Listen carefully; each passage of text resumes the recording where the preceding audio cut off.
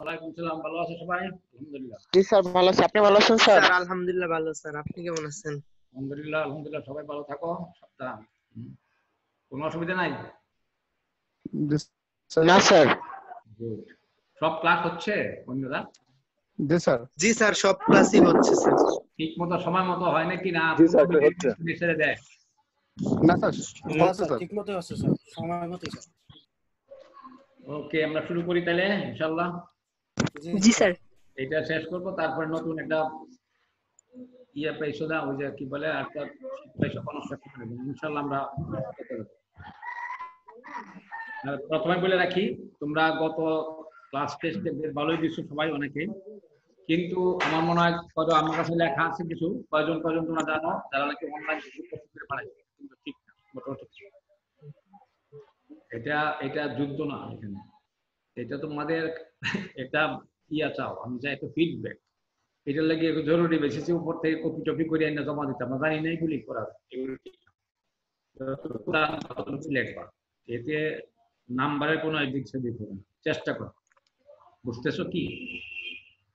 জি sir এটা কিন্তু ঠিক করছিল। এই যে যারা কপি করছ কয়জন? ইউনুস আলী আছো ইউনুস? আছে আজকে? স্যার এই জায়গায় তো দেখা যাইতেছে সে আ- আছে স্যার অনলাইন আছে কিন্তু কথা বলতেছে না তো স্যার। কথা বলতেছেন না? আচ্ছা তাহলে এও কপি করছে। তার মানে অনলাইন হয়ে চলে গেছে। পাবেল? পাবেল খান? জি স্যার আছি স্যার। তুমি কপি করছিলা? জি স্যার। কপি করছিলা অনলাইন থেকে? না স্যার একটু একটু করছিলাম স্যার। এটা পুরাটাই কপি করে প্রিন্ট করে জমা দিচ্ছ আচ্ছা যাই হোক। এটা ঠিক করো নাই। তারপরে ফাইভ ফোর টু কেডা? রোল নাম্বার নাম নাই নাম লেখ। স্যার এটা হচ্ছে নাফিউজ্জামান ভুইয়া। হ্যাঁ কই আছে সে আজকে? স্যার সে তো আসে নাই মনে হয় এখনও। আসতে হবে তার পরীক্ষা দিতে হবে আজকে। না এটা কিন্তু পরে এটা কিন্তু ল্যাপস হয়ে যাবে। নাম্বার টাম্বার কিন্তু মনে রাখবা কিন্তু আমার লগে থাকবা নাম্বার আমার লগে থাকবা না নাম্বার নেই। জি স্যার। জি স্যার। হোসেন ফাহিম হোসেন আছে? ফাহিম? না স্যার ফাহিম হোসেন আসে নাই স্যার। খবর লাগাও আসতে হবে তাহলে আরও এক্সট্রিমলি ভেরি সিরিয়াস সে চার পাঁচ পৃষ্ঠা কপি করে দিয়েছে মানে জি স্যার। তো এইগুলি আর কে আছে বলো তো মাসুম? স্যার আর কেউ নাই এই চারজনই স্যার।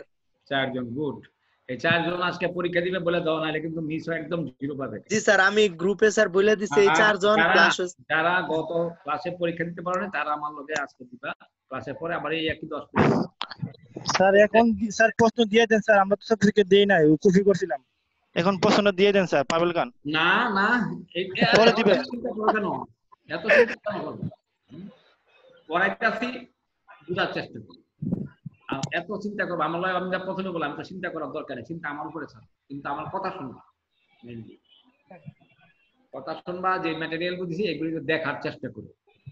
আমি চাই তোমরা একটা ইঞ্জিনিয়ার হবে এত বড় ইঞ্জিনিয়ার হবে। আমার কথা শুনবা এবং এর থেকে কিছুটা হলো নিজের কাছে রেখে দিবা এটাই তোমার ইঞ্জিনিয়ারিং নলেজ আর তোমাকে যা শিখাই দেওয়া হচ্ছে তোমাকে খালি দেখাই দেওয়া হচ্ছে রাস্তাঘাট। তুমি ভবিষ্যতে এগুলি বড় ম্যানুয়াল নিবা ডিজাইনার নিবা কনসালটেন্ট নিয়োগ করবা আগে কাজ করতে পারবে কিন্তু তোমাকে নিজে জানতে হবে। এই জানাটাই আমরা এই কোর্স মাধ্যমে সিভিল ইঞ্জিনিয়ারিং কোর্সের মধ্যে শিখাই। এখানে পারফেকশন কেউ আসবে না কোনোদিন না এটা জীবন বুঝতেছো সুতরাং চেষ্টা করব আমি অনেক রিপিট করে বলার কথা বলি যাতে তোমরা বুঝতে পারো। আজকে আমরা শেষ করব এটা। এখন গতকালকে কোথায় গেছিলাম? জব ক্রিয়েশন ডিপার্টমেন্টেশন তাই তো? এই যে দেখাচ্ছ। জি স্যার। এইটা এটা শেষ করছি। আমি বলছিলাম বাকিটাও শেষ করব। এই- যে এটার পরে আমরা ডেলিগেশন অথরিটি যাব এই তো? আমরা গতকালকে এই পর্যন্ত পড়ছি এই যে জব ফ্যাক্টরগুলি পড়ছিলাম। খেয়াল আছে? জি স্যার। হ্যাঁ। রেখো এই যে কি ফ্যাক্টর আমি বলছি কি factor principal sir. Definition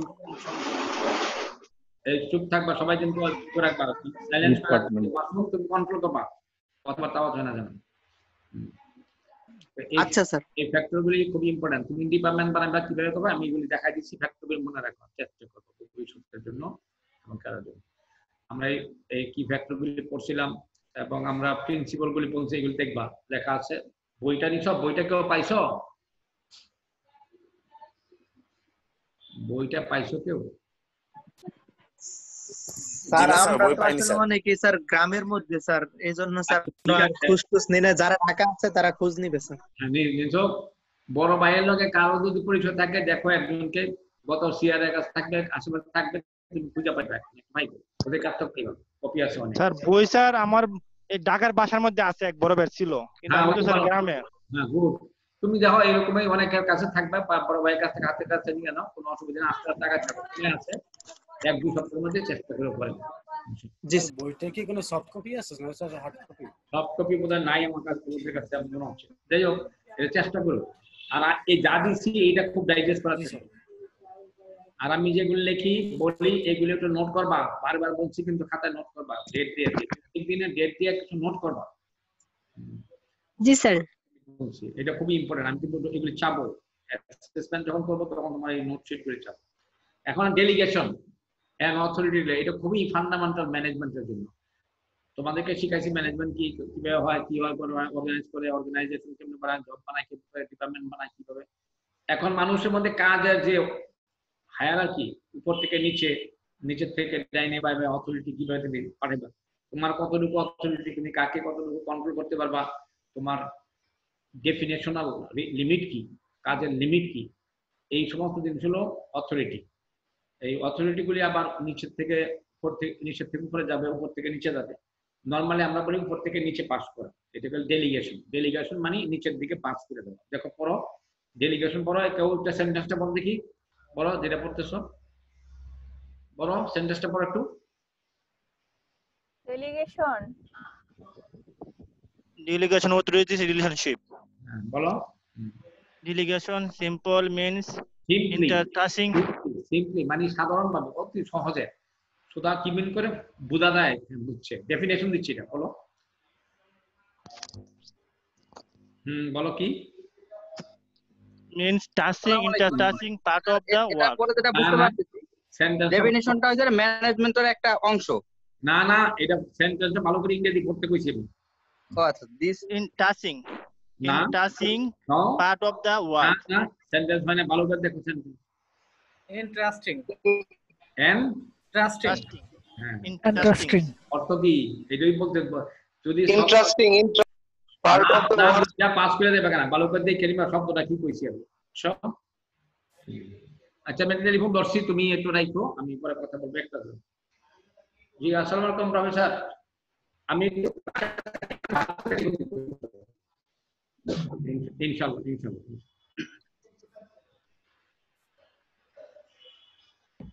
sorry sorry হ্যাঁ বলো। হ্যাঁ এন্ট্রাস্টিং মানে ন্যস্ত করা বিশ্ব ন্যস্ত তোমার উপরে আমি আস্থা সহকারে ন্যস্ত করলাম হস্তান্তর করলাম। মিনস এন্ট্রাস্টিং হ্যাঁ বলো পরে। এন্ট্রাস্ট ট্রাস্টের থেকে এন্ট্রাস্ট করে। বলো। তারপরে? Interesting part of the work of operations or management to others তার মানে তোমার নিজের কিছু কাজের অংশ বিশেষ। তোমার ম্যানেজারিয়াল কাজ বা যে কোনো কাজের অংশ বিশেষ। অন্যকে দেওয়া। Means entrusting part of the man to others অন্যকে দেওয়া অন্যকে দেওয়া। তোমার উপরে যে বস আছে, তোমার কাছে তোমার কাছে কিছু অংশ তোমার কাছে পাস করে দিছে তুমি এই জিনিসটা দেখবা। বাস, এটাই। তাহলে এটা এই এই কথাটা মনে থাকার জন্য ডেফিনেশন আমি কইতে ডিফাইন ডেলিগেশন তার মানে দিস ইজ ডেলিগেশন কিছু অংশ অন্যকে দেওয়া। পাস করা পাস করা পাসিং দেখো দেখো দেখো, নিচে বলছে কি দেখো? তারপরে পড়ো সেন্টেন্স আরও আরও বুঝাইছে। This is the process of passing authority and responsibility to lower level. বাস ফিনিশ এইটুকু এইটুকু বুঝতে কার কোনো অসুবিধা হয়েছে নাকি বলো না স্যার আজকে কজন এখন এই মুহূর্তে কজন 46 sir হ্যাঁ 46 sir sir. 45 sir forty five তিনজন অ্যাবসেন্ট আছে নোট করুন। বাথরুম কে কে অ্যাবসেন্ট জি sir. 46 sir very good very good attendance এই মুহূর্তে তুমি একটা স্ন্যাপ দিয়ে দা লাগাই দিব স্ক্রিন লাগাই দিব বুঝছ? জি স্যার নিচ্ছি স্যার। হ্যাঁ গুড তার মানে আমার ডেফিনেশন হয়ে গেছে। তুমি সিম্পল ভাবে তোমার কিছু কাজ অন্যকে তুমি দিবা। এখন এই যে দেওয়ার জিনিসটা কেন দিচ্ছি? কি কি কারণে দিব? কখন দিব? দিলে কি হবে? আমার কি বা লাভ হবে অন্যের কি লাভ হবে বা অর্গানাইজেশনে কি লাভ হবে এইটা হইল আমার এখানকার কাজ করব ম্যানেজারিয়াল কাজটা হলো এইটাই। আমরা এই জিনিসটা এটাতে পড়ব কাজটা। ভেরি ইম্পর্টেন্ট আর এই কাজটা কি ম্যানেজমেন্ট কাজটা কি ডিসিশন মেকিং কাজ তাই না? জি স্যার। আমরা শিখছি ম্যানেজমেন্ট ডিসিশন অর্থাৎ তোমার কিছু অংশ ডিসিশন মেকিং কাজটা অন্যকে দিয়ে দিবে বা ডিসিশন ডিসিশন যদি সে না নিতে পারে ভুলভ্রান্তিকর তখন সে রেসপন্সিবল হবে এটাই আমরা এখন করব। এই জন্য বলছে কি কি করতে পারব তিনটা জিনিস এখানে করি। বলো কি কি বলব আমরা? কি করব? ইনভলভ ফলোইং কি কি বলব? Assigning duties. হ্যাঁ তুমি অ্যাসেন্ট করবে। যেমন মাসুমকে আমি অ্যাসেন্ট করি ডিউটি তাকে। আমার কিছু অংশ মাসুমকে দিয়ে দিচ্ছি। যেমন আজকে সে এখানে হোস্ট হচ্ছে তাই না? জি স্যার তার মানে আমি মাসুমকে অ্যাসাইন করছি। অ্যাসাইন ডিউটি করছি। তারপরে? Creating obligation or responsibility. মাসুমকে আমি অ্যাপ্লিকেট করছি। রেসপন্সিবল করতেছি। এই তুমি যদি ঠিক মতো কানেক্ট না করতে পারো আমার টাইমলি না করছি করতেছি না? জি স্যার রাইট এক্স্যাক্টলি তারপরে? Granting authority. এই তাকে আবার কিছু অথরিটি দিতে তাকে আমি বলছি তোমার ফ্রিডম তুমি এটা করতে পারবা এটা করতে পারবা মানুষকে লিঙ্ক লাগাইতে পারবা ইমেলে পাঠাইতে পারবা না করলে সতর্ক করতে পারবা দমকাইতে পারবা সবই আমি করে দিলাম। গ্র্যান্টিং অথরিটি তো এই প্রসেসটা হলো আমার ডেলিগেশন কত ইন্টারেস্টিং কত ইম্পর্টেন্ট জিনিস। সিম্পল জিনিস। এইটাই ডেফিনেশন দিচ্ছি। এখন এইটা এই জিনিসটা কাজটা ডিপেন্ড করতেছে আমি যে উপর থেকে নিচে পাঠাবো এই ডিসিশন মেকিং এর কাজের অংশ সেটা ডিপেন্ড করতেছে অর্গানাইজেশনের উপরে। কি অর্গানাইজেশন একটা বলছি সেন্ট্রালাইজেশন আর একটা হলো বলো দেখা যায় না সবার? Decentralization. ডিসেন্ট্রালাইজেশন বিকেন্দ্রীকরণ বিকেন্দ্রীকরণ। আমরা করি না বিকেন্দ্রীকরণ। অ্যাডমিনিস্ট্রেশন বিকেন্দ্রীকরণ হয়েছে না বাংলাদেশে? জি স্যার স্যার সেন্ট্রাল থেকে আস্তে আস্তে উপজেলা লেভেলে ইউনিয়ন লেভেল চলে যাবে এইটাই ডিসেন্ট্রাল আর হলো না, সব কাজ উপর থাকবে, সব সব কাজ আমার কাছে থাকবে। তাহলে এইটাই সেন্ট্রালাইজেশন ডিসেন্ট্রাল তাহলে সেন্ট্রালাইজড অর্গানাইজেশন কাকে বলে? ডিসেন্ট্রালাইজড অর্গানাইজেশন কাকে বলে? ডেফিনেশন আমি দিয়ে দিচ্ছি মনে রেখো। সিস্টেম অফ করো তার উপরে একটু কুইকলি করো যে ভালো করে করতে পারো। শিখো একটু, পড়ে কোনটা, sir? Centralize centralization decentralization concern the allocation of management action up and down up and down উপর থেকে নিচে উপর থেকে নিচে আসা যাওয়া ম্যানেজমেন্ট হায়ারার্কি এটাকে হায়ারার্কি সচিব উপজেলা নির্বাহী অফিসার পর্যন্ত। হ্যাঁ হায়ারেস হায়ারেস departmentation involves a horizontal allocation আমরা ডিপার্টমেন্টেশন করছি হলো ভার্টিক্যাল ওই যে ডিপার্টমেন্ট করা ডিপার্টমেন্ট করা হরিজন্টাল না? জি স্যার. আর এটা হলো ভার্টিক্যাল বলছি। এবং এই কাজটুকু আমরা দেখেন দুই ভাগে ভাগ করছি। একটা হলো সেন্ট্রালাইজড ডিসিশন মেকিং আর একটা হলো ডিসেন্ট্রালাইজড ডিসিশন এখন সেন্ট্রালাইজড ডিসিশন মেকিং কাকে বলে বলো? করো A system of management in which major decisions are made at high levels of management. Exactly তাই। যে সব সিদ্ধান্ত কোথায় হবে? উপরে। আর পাশেরটা আর decentralization a system of management in which decision are pass down to lower levels this can be gived as a pushing downward of the appropriate amount of decision making authority good তাহলে এই দেখো এইটা যদি এতটুকু যদি শিখো তাও আমি মনে করব নাইনটি পার্সেন্ট পড়াবো যদি একটু বুঝতে পারো। এটা খালি প্র্যাকটিস করো। তাহলে বুঝলাম যে আমার ডিপেন্ড করতে অথরিটি আমি ডেলিগেশন প্রসেসটা ডিপেন্ড করতেছে সিস্টেম অফ ম্যানেজমেন্টের উপরে। সেন্ট্রালাইজেশন বা ডিসেন্ট্রালাইজেশন আমরা এটা কখন করব? ডিসেন্ট্রালাইজেশনের সময় করব এই তো? জি স্যার। ডেলিগেশনটা আমরা এখন আগাই। এই যে ডেলিগেশন অথরিটি ডেলিগেশন এই ডেফিনেশন দিয়ে দিছি আমি। এখান দেখে নিবা আবার ওই একই কথা একটু ডিটেল করে দিছি। ওই যে অ্যাসাইনিং রেসপন্সিবিলিটি অবলিগেশন এগুলো আমরা পড়ছি। এগুলো পড়ছি। একটু ডিটেল করে বলে তারপর দেখো প্রিন্সিপাল বলে দিছি এখানে অনেকগুলি প্রিন্সিপাল দেওয়া আছে scalar principle principle of delegation principle of absolute responsibility এইগুলি ওই যে ম্যানেজমেন্টের এক একজন থিওরি দিয়েছে, তার কতগুলি প্রিন্সিপাল বিভিন্ন ভাবে বিভিন্ন লোক কিছু গাইডেড গাইডলাইন দেওয়া আছে গাইডলাইন হলো প্রিন্সিপাল আমরা সেগুলি বইয়ের মধ্যে ডিটেল দিচ্ছি আমি এখানে তোমরা সেগুলো দেখে নিবা পরে। আর আবার আসছে কি ফ্যাক্টরস ইন ডেলিগেশন আবার কখন আমি ডেলিগেশন দিব? ডেলিগেশন দিলে কি কি করতে হইব? এটা হলো ফ্যাক্টর যেমন আগে কি করছিলাম ফ্যাক্টরি করছি না? জি স্যার। করছি তো? কতক্ষণ আগে করে গেলাম। জি স্যার। জি স্যার। জি স্যার পড়ছি স্যার। এখন করছি ফ্যাক্টরি কিসে ডেলিগেশন কি factors of delegation delegation delegation এই ডেলিগেশন করছে। এক নম্বর ফ্যাক্টর বলো কি কইছে? Responsibility and authority should be go hand in hand মানে কি? হাত টু হাত অথরিটি যেগুলা রেসপন্সিবিলিটি হুম। দুইটা জিনিস। বলো। দায়িত্বটা হাতে হাতে একটা একটা থেকে আরেক জায়গায় একজন থেকে হ্যাঁ, যাবে। হাতে হাতে না? হাতে হাতে হ্যাঁ এটা হাতে নাতে নাকি? এটা পুলিশের মতো হাতে নাতে ধরে কাপ হাতে না স্যার না স্যার এটা একটা স্টেপ বাই স্টেপ ধাপে ধাপে। হ্যান্ড ইন হ্যান্ড এটা তুমি মোবাইলে দেখো। এই অর্থ কি? এটা একটা ফ্রেজ ইংরেজি। শিখো এটা স্যার একজন ফাইল কমপ্লিট করে আরেকজনকে দিবে এটা না স্যার? কি? মানে একজনের কাজ সম্পূর্ণ করে ফাইলটা কমপ্লিট করে আরেকজনের হাতে দিয়ে দিবে পরের কাজে। তো এটা হাতে হাত হাতে হাত রেখে স্যার। হাতে হাত। এইটা ফ্রেজ এগুলি সব ভুল তা কইতাছো। এটা ফ্রেজ ফ্রেজ জি স্যার এটা ফ্রেজ ফ্রিডম প্রেস জি স্যার। ধাপে ধাপে step by step step by step এটা হলো hand in hand together together hand in hand together sir হাতে হাতে। হ্যান্ড ইন হ্যান্ড টুগেদার এটা এটা phrase teachers and students will work hand in hand মুখোমুখি। মুখামুখি বেটা আবার কি বলতেছি? আমি বলতেছি টুগেদার একত্রে। এটা ফ্রেজ দেখবা লেখা রাখো ফ্রেজটা পরে আসে পরে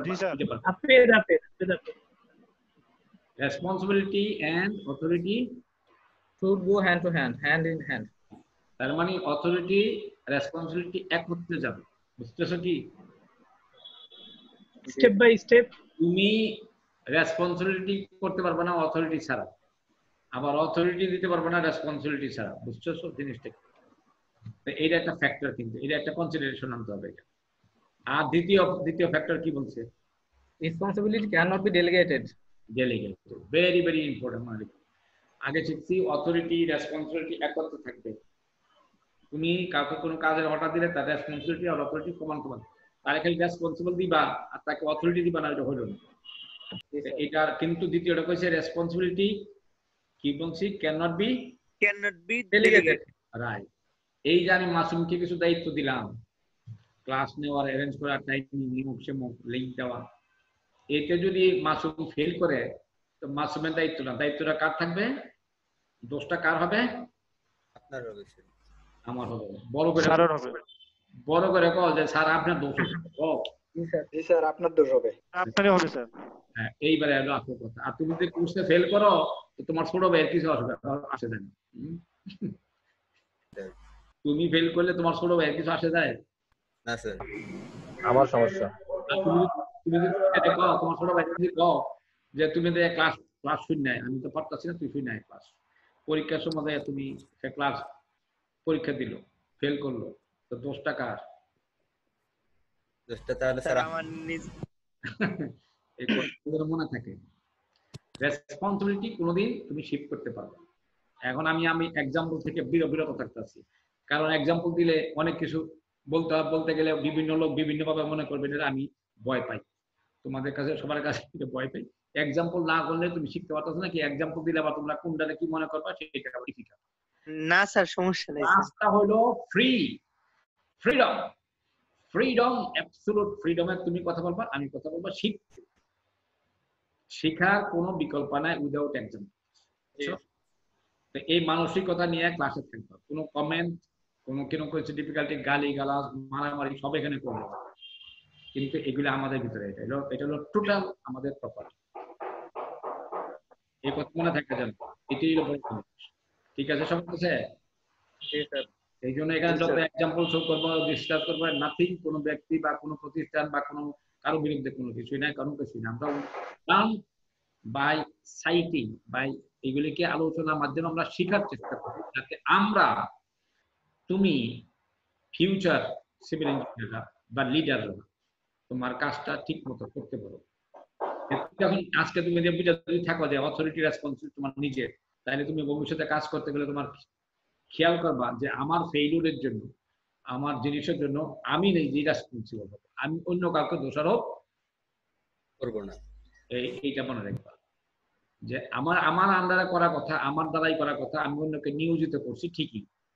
সবকিছু বলছি তাকে করতে কিন্তু এর সাকসেস হইলে আমার ফেইলুর হইল আমার। মনে রেখো।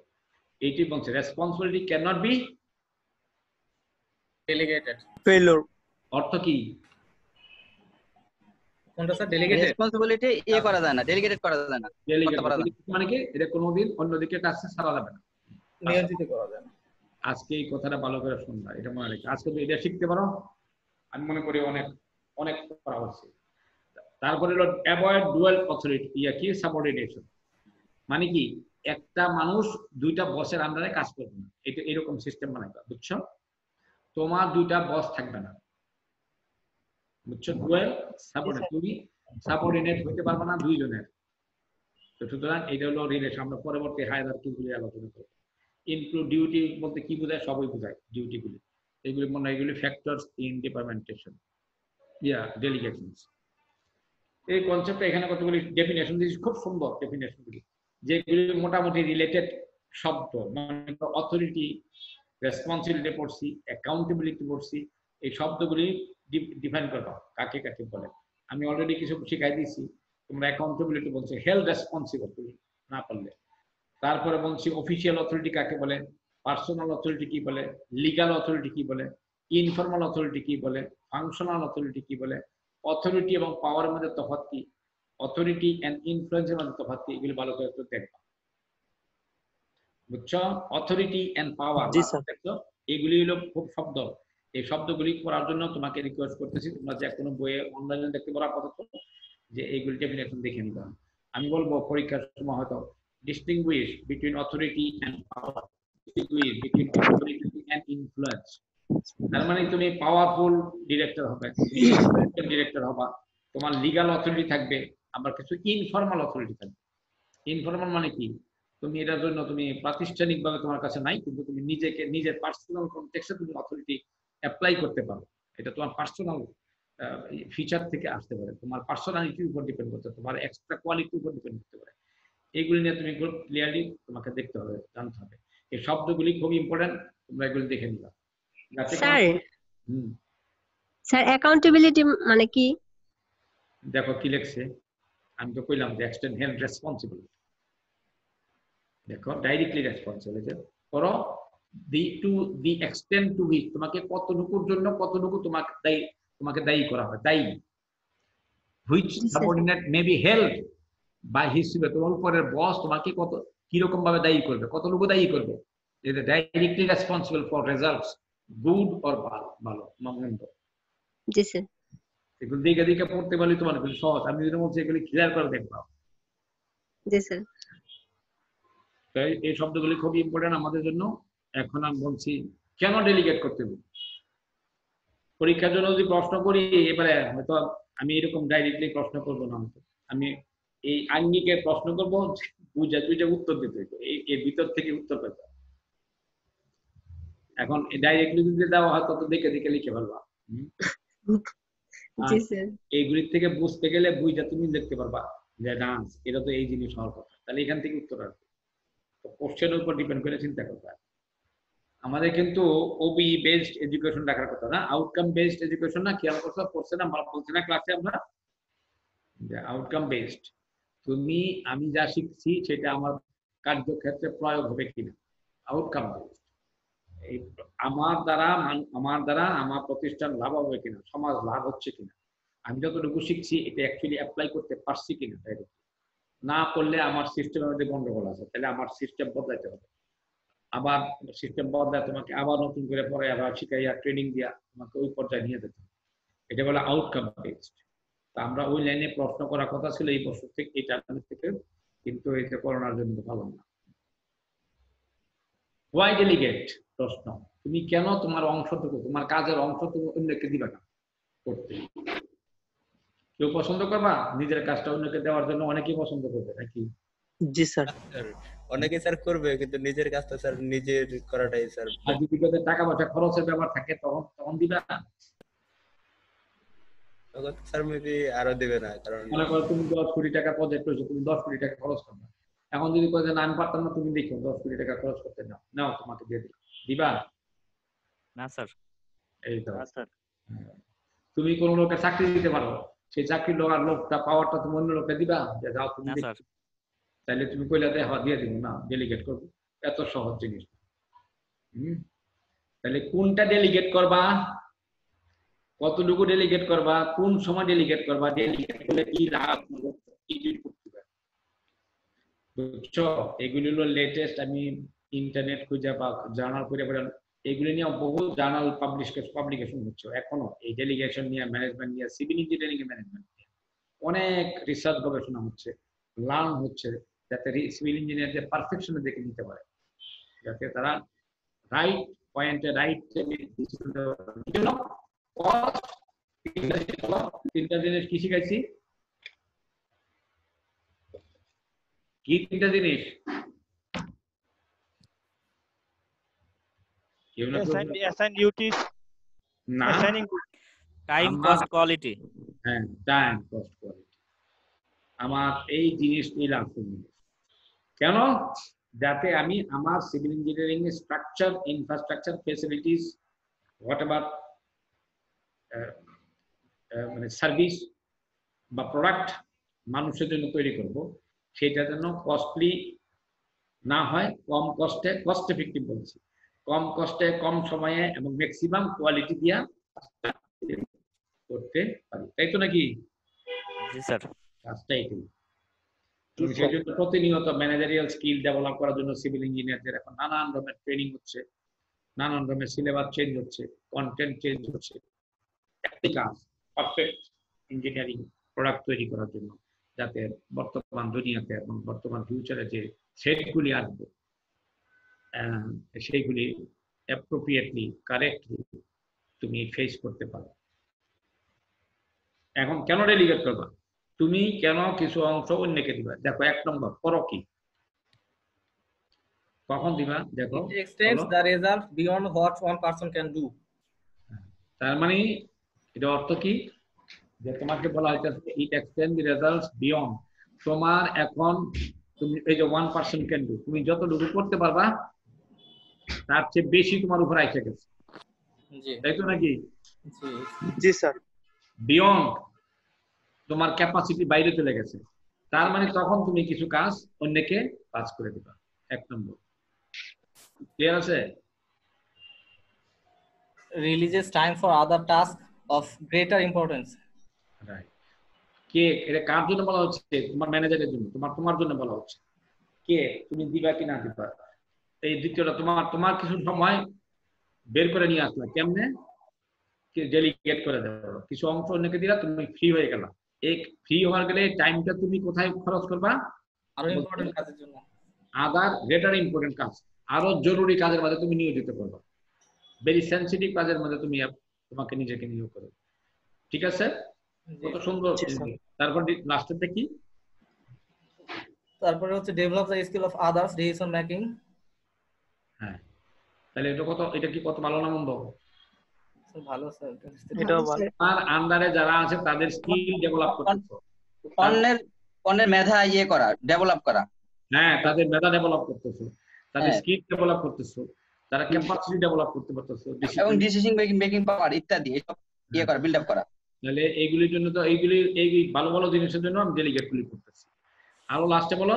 Speed up speed of decision and action হ্যাঁ তখন তোমার সাথে সাথে অনেক তড়িৎ গতিতে কুইকলি তুমি ডিসিশন নিতে পারবা এবং অ্যাকশন অ্যাকশন করতে পারব।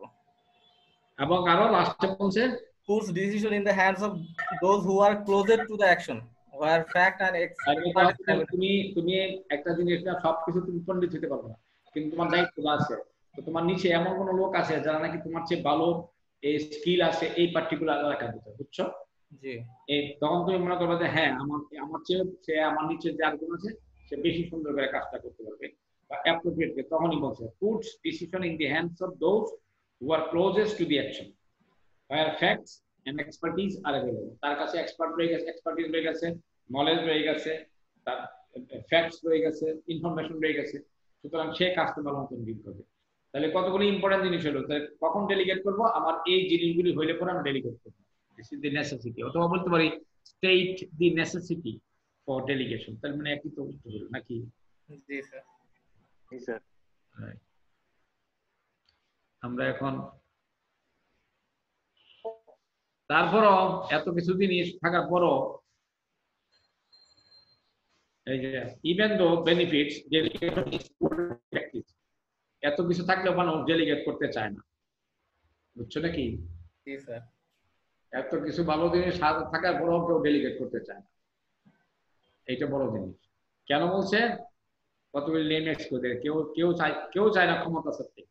I can do it better then জি। নিজে নিজেই কয় যে আমি তো তার চেয়ে ভালো পারি। বা আমি এটা চিন্তাই করি না যে ডেলিগেট করা যাবে। মাই স্টাফ উইল রেসপেক্ট তোমার কাছে তোমার বেশি সবকিছু ক্ষমতা তোমার কাছে থাকলে সে মনে করছে তোমার সালাম দেবো বেশি। তোমার এরকম থাকবে সেই থাকবে সেই থাকবে। বুঝতেছ? স্যার এই জন্য স্যার মনে হয় বাংলাদেশ আমরা অনেক পিছিয়ে আছি। যে স্যার ডেলিগেশনটা নাই। তাড়াতাড়ি না এগুলি এত কথাবার্তা দরকার নাই। যদি শিক্ষা দাও শিক্ষা টিকা যদি বুঝতে পারব তাহলে এইটা হইল আমার আমাদের আমাদের অ্যাচিভমেন্ট আমরা তাহলে বুঝব যে হ্যাঁ তুমি ঠিক মতো কাজটা করতে পারো। তো এই জিনিসগুলি খুবই স্যার অনেকে মনে করে স্যার ডেলিগেশন করলে জুনিয়ররা এক্সপার্ট হয়ে যাবে দেন হ্যাঁ, অন্য জায়গায় শিফট করবে। অনেকে ডেলিগেশন করে না স্যার। তাহলে উল্টা আমরা মনে করতেছি না জুনিয়ররা আরও বেশি স্কিল হোক আমরা চাচ্ছি সেটা কিন্তু হ্যাঁ, আমরা তো উল্টা মনে করলে তো হইল না। তাই তো? আমার হিউম্যান রিসোর্স সবাই ডেভেলপ করো স্কিল ডেভেলপ করো একটা ভালো রিসোর্সফুল একটা ইয়ে হোক আমার গ্রুপ অফ পিপল হোক তাইলে আমার অর্গানাইজেশন ভালো হবে প্রতিষ্ঠান ভালো হবে দেশ ভালো হবে সবকিছু ভালো হবে। তখন তুমি বুঝবা তোমার কাজে ডেলিগেট করা দরকার? দেখো তুমি। তখন তুমি মনে করো যে তুমি সারাদিনে কাজ করে কুলাতে পারতেছো না। বাসায় এবার কাজ নিয়ে যাচ্ছ এই টেকিং ওয়ার্ক এট হোম বুঝছ? জি স্যার হ্যাঁ, তুমি rushing to mid line deadline তোমাকে টাইম টাইম দিয়েছি টাইমে তুমি পারতেছো না ডিজাইন করতে। তুমি অন্য নিয়ে ব্যস্ত আছো। মানে তখন তুমি কুলাতে পারতেছো না। ওয়ার্কিং লং আওয়ার তোমার দেখা পাঁচটার সময় শেষ করার কথা অফিস তুমি সাতটা বাজে তাও শেষ করতে পারছ তাহলে এইগুলো হলো সাইন সিমটমস যদি এইরকম পর্যায়ে পড়ো তখন মনে করো না আমার কিছু কাজ কি করা উচিত? ডেলিগেট করা উচিত। ডেলিগেট করা উচিত। গুড সুন্দর জিনিস এইগুলি ম্যানেজমেন্টের সেন্ট্রাল পয়েন্ট মনে রেখে। আমরা এগুলি যদি না বুঝি তাহলে আর তো কিছু করতে অন্ধ মতন কাজ করে লাভ নেই। এখন হলো স্টেপস মনে করো তুমি দিবা ডেলিগেট করবা। তোমার ডেলিগেশন করা উচিত। তুমি কইলে ডেলিগেট করতে পারবা না। ছেড়ে দিতে পারবা না। এইটার কতগুলি কি আছে? স্টেপস স্টেপস আছে প্রসেস আছে। এটাও প্রসেস সুন্দর করে দেওয়া আছে কতগুলি প্রসেস গুলি সুন্দর সুন্দর। দেখো কখন ডেলিগেট কেমন ডেলিগেট করবা লেখা দিচ্ছে। বলো কি করে করবা? চুজ এ ক্যাপাবল পারসন মানে কি? মানে যোগ্যতা মানে সামর্থ্য যারা আছে যোগ্যতা সম্পন্ন। মানুষ চুজ করতে হ্যাঁ, হবে। ওইরকম একটা লোক খুঁজে বার করো। যেমন তোমার এখানে মনে করো কেউ ইউনুস আলী সে পরীক্ষা মাসুম। মাসুমটা বাদে দিলাম। মনে করো ইউনুস আলী বা পাবেল সে খুব বিজ্ঞ লোক। এই সমস্ত এক্সপার্ট কাজ করতে পারবে। খুঁজে বার করতে পারে বা আমি বলছি মাসুম মাসুম তো তার সিআর এর জন্য দিলাম। মনে করো। মাসুম আছে ভালো ক্যাপাসিটি লোক আছে না আছে এখানে? জি স্যার। না স্যার আসলে কি মাসুমই স্যার? বেস্ট কও কেডা আছে বলো নাম বলো। স্যার মাসুমই বেস্ট মাসুমের বেস্ট তাহলে মাসুম কেমনে বেস্ট হইল? স্যার মাসুম ভাই বেস্ট স্যার। বেস্ট হইল? এত কথা তো পাম মারা যাবে না স্যার। মাসুম বেস্ট হইল কেমনে? স্যার যে কোনো ব্যাপারে কুইক রেসপন্স করে একটা ব্যাপারে প্রবলেম হলে গ্রাম থেকেও জানায়। না তোমাকে দিলে তুমি পারবে না? স্যার আমরা সবকিছু মানে তুমিও দিলে তুমি পারবা সেটাই বলতেছি। এখন বলা হচ্ছে ওকে তোমার আন্ডারে যারা আছে তার মধ্যে তুমি সবচেয়ে লোক বা নলেজেবল লোক তাকে খুঁজে পাবে। এক নম্বর একটা দ্বিতীয়? Explain the objectives and goals হ্যাঁ তখন তার কাছে তুমি বুঝাও কি দিতে চাও? এবং এটা দিয়ে এটা দিয়ে কি কি কি করতে চাও? তুমি কতটুকু পাইতে চাও? তাকে বুঝাই দাও। তারপরে বলো। Give the person the tools and authority হ্যাঁ এখন তাকে কিছু ইয়ে দাও টিপস দাও সে কেমনে অথরিটি করবে। তার টুলস তার মেথোলজি তার টেকনিক্স তার রিসোর্স এগুলো তাকে দিতে হবে। তার গাড়ি লাগলে তার লোকবল লাগলে বা কম্পিউটার লাগলে অন্য কিছু লাগলে তাকে দিবা এবং তার ক্ষমতা দিবা ওই যে অথরিটি তারপরে follow up and maintain contact এবং দিয়ে রাখলা এবং তারপরে তুমি ছেড়ে দিবা না তুমি খেয়াল করবা সে ঠিক মতো করতে পারতেছে কিনা। Follow up be ready to accept other approaches to the task person may not have done it. Right যদি সে না পারে বা বাই চান্স কোনো কিছু ভুলভ্রান্তি হয়ে গেল তুমি খেয়াল রাখবা যাতে অন্যকে দেওয়া যায় শিফট করা যায়। এটা অল্টারনেটিভ রাখার জন্য তারপরে লাস্টে acknowledge and recognize the work performed. হুম। তার মানে কি? কাজের শেষে তাকে কি করব কি করবা উৎসাহ এবং ধন্যবাদ দিবা। উৎসাহিত করব স্যার। অ্যাকনোলেজ হ্যাঁ তুমি তাকে কৃতজ্ঞতা প্রকাশ করো রিকগনাইজ করো। থ্যাংক ইউ ভেরি মাচ তুমি ভালো একটা কাজ করে দিয়েছ আমার কাজটা তোমার যা দিয়েছি তুমি ঠিক মতো করতে পারছ। আর যদি সে নাও করতে পারে তাও থ্যাংক ইউ বলব কেন বলবা? যে সে চেষ্টা করছে। নেক্সট টাইমে ইউ ক্যান ডু বেটার জি স্যার। ওকে সুতরাং এটা আমাদের দেশের জন্য খুব অভাব। যে আমরা রিকগনাইজ করতে চাই না। তাহলে এখন কি হইল? সামারি রিমেম্বার এবার বুঝাতে পেরেছি কি বলছি? Delegation is the act of passing along authority to the other people. Right এটা হলো অর্থ আমার ডেলিগেশন হলো পাসিং অথরিটি টু আদার্স তারপরে? It is a vital tool for self management self management খুব ইম্পর্টেন্ট তোমাকে নিজেকে নিজে ম্যানেজ করার জন্য যে টুলস থাকবে অনেক অপশন থাকবে আমরা পরে আইছি একটা আগে। ম্যানেজমেন্ট বাই এক্সেপশনস জি। তোমাকে বলছে তোমার নিজেকে নিজে ম্যানেজ করার জন্য। আর এটাও তাহলে তোমাকে ম্যানেজ করার জন্য একটা সবচেয়ে ভাইটাল টুল কোনটা? টুল মানে কি? অস্ত্র বা পদ্ধতি? Delegation. ডেলিগেশন আমি যদি পরীক্ষা দিয়ে দেই delegation is a vital tool for self management explain তাহলে কি করবা? এইবার আমি তো ডাইরেক্ট প্রশ্ন দিলাম না। তাহলে সাথে সবকিছু বর্ণনা করতে হবে কেন? হ্যাঁ, তাইলে বলতে হবে কি কি এটা ডেলিগেশন মানে কি মুখ সমক কি কেন কেন মনে নয় সব কিছু অল্প স্বল্প করে এগুলো তোমাকে বুঝাতেই বুঝে না সো এরকম। তাহলে মুখে এরকম প্রশ্ন কিন্তু থাকবে মনে রাখবে ডাইরেক্ট কোনো প্রশ্ন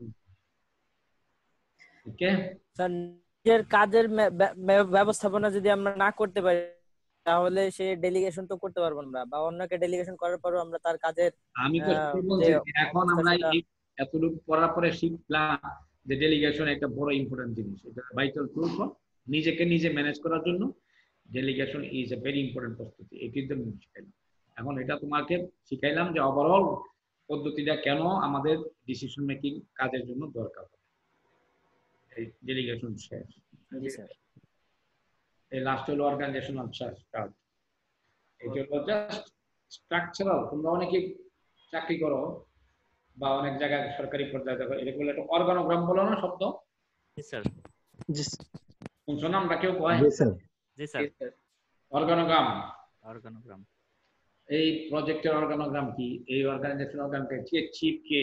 যে তার নিচে তার নিচে তার নিচে তার নিচে কারা কারা কার কাছে থাকবে এইটা সুন্দর এইটাই হলো এখানে অর্গানোগ্রাম যে আহ, এটা এটা এখান থেকে শুরু দেখো। অর্গানাইজেশনাল চার্ট বা অর্গানাইজেশন স্ট্রাকচার এটা কি জন্য দেওয়া হয়? আমরা যে কথাবার্তাগুলি তখন বললাম জব তৈরি করলাম ডিপার্টমেন্ট তৈরি করলাম ডেলিগেশন করলাম অর্গানাইজেশন বানাইলাম এখন যে লোকগুলি বিভিন্ন জায়গায় বসবে বুঝতে হবে না? তাদের মধ্যে লিঙ্ক তৈরি করে দেওয়া। ওই যে ডেলিগেশনের কথা বললাম যে উপর থেকে নিচে যাবে। তাহলে কে কার উপরে থাকবে না? এই জিনিসগুলি chain of command chain of command খেয়াল করো কি লেখা আছে চেইন অফ কমান্ড যে এই যে it is the chain of command যে উপর থেকে who is to do what কে কি করবে কে কার কাছে রেসপন্সিবল থাকবে এবং কোন কাজের জন্য। বুঝছ? এটি বলছে deals with overall organisational structural element in an organisation enterprise বা অর্গানাইজেশন বা এজেন্সি শো করার জন্য কে কার থাকবা, কি করবা, কে জন্য রেসপন্সিবল করবে, অর্থাৎ চেইন অফ কমান্ড শো করার জন্য। এইটা বিভিন্ন ভাবে তৈরি করা হয়। এটা তোমরা দেখতে পারব যে কোনো অনলাইনে গেলে দেখতে পারবা। এই- এইগুলো তোমরা দেখে নিবা, যেহেতু বই পাচ্ছ না এখন organisation for line or military organisation খুব স্ট্রেট ফরওয়ার্ড এই যেটা আছে নিচে দেখো। একদম ক্লিয়ার উপর থেকে নিচে, একদম নিচের থেকে নিচে নিচে যাচ্ছে, কে কার আন্ডার থাকবে। সুপারভাইজার এ, তার আন্ডারে হয়তো আরও দশটা লোক থাকবে, তার আন্ডারে আরও দশটা, বিশটা লোক থাকবে নিচে। এটা বল লাইন অর্গানাইজেশন আবার functional organisation line and staff organisation matrix organisation আরও অনেক অর্গানাইজেশন আছে প্রজেক্ট ম্যানেজমেন্ট অর্গানাইজেশন আছে আমাদের জন্য। যেমন পদ্মা ব্রিজ যে কমপ্লেক্স প্রজেক্ট তার অর্গানোগ্রাম কি? তোমাকে ড্র করতে হবে। সেখানে তোমার বিভিন্ন লোকের পজিশন শো করতে হবে কানেকশন শো করতে হবে। ভেরি ডিফিকাল্ট কমপ্লেক্স মনে করো সেখানে কন্ট্রাক্টর আছে কনসালটেন্ট আছে এক্সপার্ট রয়ে গেছে প্যানেল অফ এক্সপার্ট রয়ে গেছে মন্ত্রণালয় রয়ে গেছে তারপরে এই এজেন্সি গুলো রয়ে গেছে যেমন কি এডিবি টাকা দিবে ওয়ার্ল্ড ব্যাংক টাকা দিবে জাইকা টাকা দিবে, আবার এক্সটার্নাল মিনিস্ট্রি রয়ে গেছে ফাইন্যান্স মিনিস্ট্রি রয়ে গেছে সবাই মিলা কিন্তু শো করা খুব ডিফিকাল্ট তো এগুলি এত সিম্পল জিনিস না, তোমরা সেগুলি শিখতে হবে তোমাকে, যাতে ক্লিয়ার অর্গানোগ্রাম অর্গানোগ্রাম একটা থাকে অর্গানাইজেশন স্ট্রাকচার যেন থাকে, দেখানো। তো আমরা বিভিন্ন ফর্মুলি পড়ব। আমরা দুইটা জিনিস সেখানে শুধু এক্সাম্পল করছি। এটা লাইন অর্গানোগ্রাম বা এটা কি বলা হয়? কি লাইন অথবা কি বলা হয়? Military organ straightforward straightforward organisation জন্য। ভেরি ক্লিয়ারলি এখানে দেওয়া আছে কিছু সুবিধা কিছু অসুবিধা। সিম্পল দেওয়া আছে তুমি নিল দেখো সুবিধা আছে। ইউনিফাইড কন্ট্রোল ওই চেন কমান্ড এটা যেমন লাইন অর্গানাইজেশনের সুবিধা অসুবিধাগুলি দেওয়া আছে। এবং কীরকম দেখতে দেখা দিয়েছি। এরকমই সবগুলি দেখানো যায় কিন্তু আমি দেখাচ্ছি না সবগুলি এখানে সময় দরকার না তুমি করে নিতাম আমরা লাইন অ্যান্ড স্টাফ দেখা দিচ্ছি। যেমন দ্বিতীয়টা আচ্ছা, তৃতীয়টা দেখাচ্ছি। লাইনের সাথে আমি স্টাফ অর্গানাইজেশন শো করতেছি। অর্থাৎ স্টাফ বাদ দিলে কি থাকল? লাইন লাইন সবাই আছো তো নাকি? কজন আছো এখন? স্যার 45 স্যার 45 তোমরা যেন তাকে নোট করবা আমাকে সাথে জানাবা তো লিভ করবে এখন এই লাইন অ্যান্ড স্টাফ স্টাফ একটা শব্দ মিনিং একটা একটা এটা কিন্তু স্টাফ মানে তোমার এই পিওন না স্টাফ একটা স্পেসিফিক পজিশন এখানে। বুঝতেছো? জি স্যার। এই পজিশনটা একটা হতে পারে কয়েকটা হতে পারে এটা পজিশন স্টাফ এটা স্পেশালাইজড পজিশন হতে পারে এক্সপার্ট হতে পারে। কোন একটা সাবজেক্টের জন্য হতে পারে বা কয়েকজন হতে পারে। এটা হলো নর্মাল নর্মাল লাইনের সাথে এটা যুক্ত থাকবে। কেন যুক্ত থাকবে? তাদের এক্সটার্নাল নলেজগুলি আমার এই লাইনের ভিতরে দরকার হয়। এই জন্য আমরা এখানে এটাকে লাইন স্টাফ বলছি। পড়ো সেন্টেন্সটা পড়ো। Essentially, it consists of the additional of functional specialists to the simple line organization. মানে কি? এটা হচ্ছে এসেনশিয়ালি মানে সাধারণভাবে বা বাস্তবিক ভাবে বা প্রয়োজন ভাবে প্রয়োজন বোধে এটাকে কি কনসিস্ট অফ এডিশনাল ফান্ড অতিরিক্ত কাউকে আমি অতিরিক্ত স্পেশালিস্ট স্পেশালিস্ট এক্সপার্ট জি স্যার আমি আইনা ঢুকাই দিই যেমন আমরা জানি আমাদের মন্ত্রণালয় আছে মন্ত্রণালয়ের চিফ যিনি ওনার নাম ওনার নাম কি? মন্ত্রী। মন্ত্রী। এই মন্ত্রীর সাথে অনেক মন্ত্রণালয় দেখবা যে আমার সাথে একটা পজিশন আছে। নাম কি? প্রধানমন্ত্রী নাকি? না প্রধানমন্ত্রী তো সবার ছিল মন্ত্রণালয় মন্ত্রীর সাথে আরেকটা পজিশন থাকে কোন কোন মন্ত্রণালয় সচিব সচিব সেক্রেটারি। প্রতিমন্ত্রী উপমন্ত্রী? প্রতিমন্ত্রী থাকে অ্যাডভাইজার থাকে। অ্যাডভাইজার এখানে অ্যাডভাইজার বলতে বা প্রতিমন্ত্রী বলতে পারো। তারা এডিশনাল স্টাফ হিসেবে কাজ করবে এবং এটা আমরা বলছি এখানে অ্যাডভাইজার হিসেবে যারা থাকে। অনেক মন্ত্রণালয় আছে না? অ্যাডভাইজার আছে না? ওই অ্যাডভাইজার গুলি এখানে স্পেশালিস্ট হিসেবে কাজ করবে আর অর্গানাইজেশনে তুমি যদি ফাইন্যান্স ডিপার্টমেন্টের কাজ করার জন্য একটা ফাইন্যান্সিয়াল এক্সপার্ট তুমি রাখতে পারো। তাকে রাখতে পারো না হায়ার করতে পারো। তারা এখানে এসে তাকে ওই ব্যাপারে ফাইন্যান্সিয়াল ব্যাপারে বা টেকনিক্যাল নলেজের ব্যাপারে টেকনিক্যাল স্পেশালিস্ট রাখতে পারো। সে তোমার টেকনিক্যাল নলেজগুলি তোমাকে হেল্প করবে। এটাই consist of the additional functional person normal লাইনের উপরে এবং স্টাফের ফাংশন কি দিয়ে দিছে এই যে পড়ো দেখি স্টাফের ফাংশন কি কি বলো is a part of managerial work that an executive assigned to someone outside Get executive তুমি assigns assign to someone outside the chain of command. outside the chain of এই যে নরমাল চেইনের বাইরে থাকবে এই যে বলছে কি বলছে staff members are concern with কি With more of thinking. Thinking সে শুধু অ্যাডভাইস করবে। চিন্তা করবে। তার ওই স্পেশালিস্ট নলেজের মাধ্যমে। কেন এটা হবে কেমনে হবে কি হবে কি হবে? অর্থাৎ তার ফিজিক্যাল বা অন্যান্য কাজ করা দরকার নেই। সে এখানে অ্যাডভাইস দেওয়া হবে এই ধরনের টাইপ টাইপ অফ স্টাফ গুলি হতে পারে। এরকম। আবার পিছনে ব্যাক কভার বাংলাদেশি আমার এর দেখতে কেমন হবে? ওই জানি এই স্টাফটা এরকম ভাবে বাইরে থাকবে সে। এই স্টাফ বাদ দিলে কি থাকল? এটা বাদে শুধু line line organization. Line organiser very good line এই স্টাফ এখানে একটা দিছি স্টাফ আর একটা এখানে থাকতে পারে বা একটা থাকতে পারে অন্য জায়গায় এখানে থাকতে পারে এই এই এ সুপারভাইজারের জন্য আরেকজন থাকতে পারে। এই কাজটার জন্য সুপারভাইজার এ জানি না কোনো একটা স্পেশালাইজড কাজ সে করবে ডিজাইনের কাজ করতে পারবে বা ওটা কিছু করতে পারবে যে কোনো জায়গায় থাকতে পারবে। এইটি এখন বলা হচ্ছে। সুতরাং এটার অ্যাডভান্টেজ আছে অনেকগুলি ডিসঅ্যাডভান্টেজ আছে তোমরা কিন্তু দেখে নিবে এইগুলি পরে নিবে কিন্তু অ্যাডভান্টেজ ডিসঅ্যাডভান্টেজ পরীক্ষা থাকতে পারে। আমি এখন পরে এখন দিই জি স্যার। এইরকম দেখা। সোজা কথা আমি এরকম দেখাচ্ছি যে প্রেসিডেন্ট এটা লাইন অর্গানাইজেশন স্টাফের ফাংশন হলো এখানে। যে সেই স্টাফ ম্যান স্পেশালিস্ট সে এই এই জায়গা দিয়ে তাকে এখানে অ্যাসিস্ট করতে পারবে প্রেসিডেন্টকে অ্যাডভাইস করতে পারবে। এখানে ফাইন্যান্স ডিপার্টমেন্টের মধ্যে সে তার ফাইন্যান্সিয়াল তার মানে এটা ফাংশনাল অথরিটি এই যে হলো ফাংশনাল অথরিটি অর্থাৎ এই লাইনটা এই কালারটা মনে করতেছে তার ব্যাকগ্রাউন্ডের লোক। কোন ব্যাকগ্রাউন্ডের লোক সে? ফাংশনাল এখানে ফাংশনাল অথরিটি মানে সে ওই ব্যাকগ্রাউন্ডের স্পেশালিস্ট সে। কোন ব্যাকগ্রাউন্ডের লোক সে? লোক- বুঝি না এটা এটা ফিনান্সের এটা স্যার এটা ফিনান্সের ফিনান্সের লোক।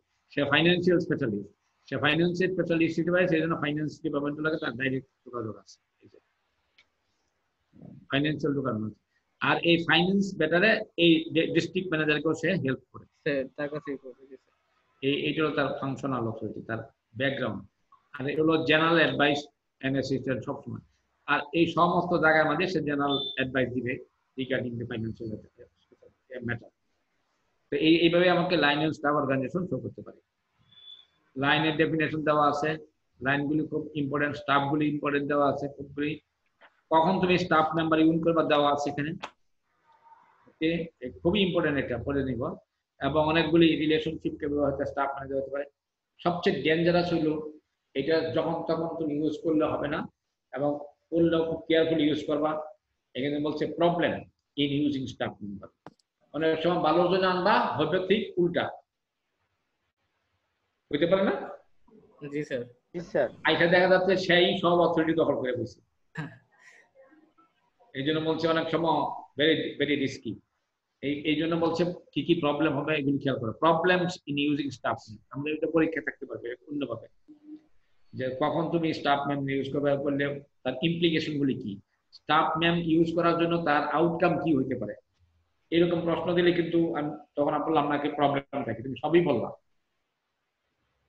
বুঝতেছো কি প্রশ্ন? জি স্যার।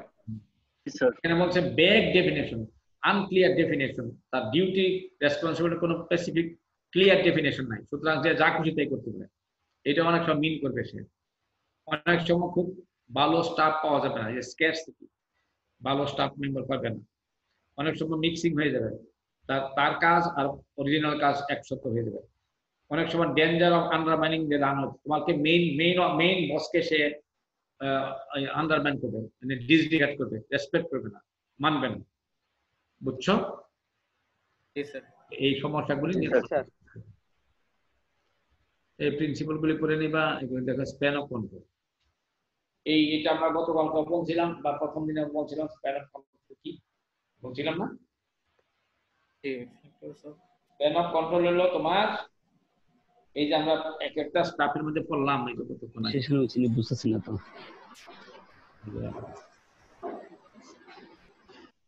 এই যে এখানে বললাম এইখানে ডিস্ট্রিক্ট ম্যানেজারের আন্ডারে কয়জন? তিনজন স্যার প্রোডাক্ট তিনজন। প্রোডাকশন সেলস এখন এটি বলছে এটি হলো স্প্যান এই ডিস্ট্রিক্ট ম্যানেজার কয়জনকে সুপারভাইজ করতেছে? তিনজন। আর এখানে লোক কয়জনকে সুপারভাইজ করে? দুইজন একজন। একজনকে ডিস্ট্রিক্ট ম্যানেজার আর এই লোকের আন্ডারে হয়তো আরও দশটা বিশটা লোক থাকতে পারে। এখানে হয়তো আরও জি 20 স্যার। টা। এই যে এই এই প্রত্যেকটা আন্ডারে কতজন লোক থাকতে পারবে, এইটা হলো স্প্যান অফ কন্ট্রোল বুঝছ এই যে span of control span of control হলো নাম্বার অফ পিপল এফেক্টিভলি আমি এখানে লিখি নেই হয়তো, দেখে নিবা the number of that a supervisor supervisor, boss বা executive can effectively supervise তুমি কতজন লোককে এফেক্টিভলি সুপারভাইজ চিফ ইঞ্জিনিয়ার কজন লোককে সুপারভাইজ করতে পারবে কয়টা? একটা এক্সিকিউটিভ ইঞ্জিনিয়ার কজন লোককে সুপারভাইজ করতে পারবে একটা অ্যাসিস্ট্যান্ট ইঞ্জিনিয়ার কজন লোককে সুপারভাইজ করতে পারবে এইটা হলো স্প্যান অফ কন্ট্রোল বুঝছ? জি স্যার এই এটা মনে রাখবে এবং এই কতজন করতে পারবে তার কতগুলি ফ্যাক্টর আবার এখানে বলছে ফ্যাক্টর আবার মনে রাখো ফ্যাক্টর ঠিক আছে? কয় নম্বর ফ্যাক্টর বললাম আর কয় নম্বর ফ্যাক্টর পড়ছি আজকাল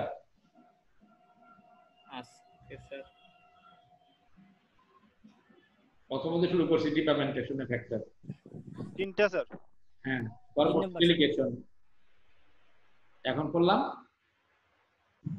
এখন হচ্ছে factors of span of control span of control span আরে ভীমের স্প্যান আছে না? কত লোক লম্বা ভীমের স্প্যান জি স্যার স্প্যান করো না এটা হলো কত লোকটা তুমি সুপারভাইজ করবে? এইটাই হলো ম্যাডাম সিম্পল তাহলে এটা ডিপেন্ড করতে আছে তুমি কি কি এই জিনিসগুলো টাইম সুপারভাইজ কতটুকু সময় দিতে পারবা ভ্যারাইটি অফ কাজের ধরন কি, কাজ কি রিপিটেটিভনেস কি সেন্ট্রালাইজ কিনা ডিসেন্ট্রালাইজ কিনা স্টাফ অ্যাসিস্ট্যান্ট প্রোভাইডেড তার সঙ্গে, তার কিছু সাহায্য দিছ কিনা, না দিছ, বা এটা জিওগ্রাফিক্যালি দূরে কিনা মানে এক এক অফিসে খালি হেড অফিস না লোকাল অফিস আছে কিনা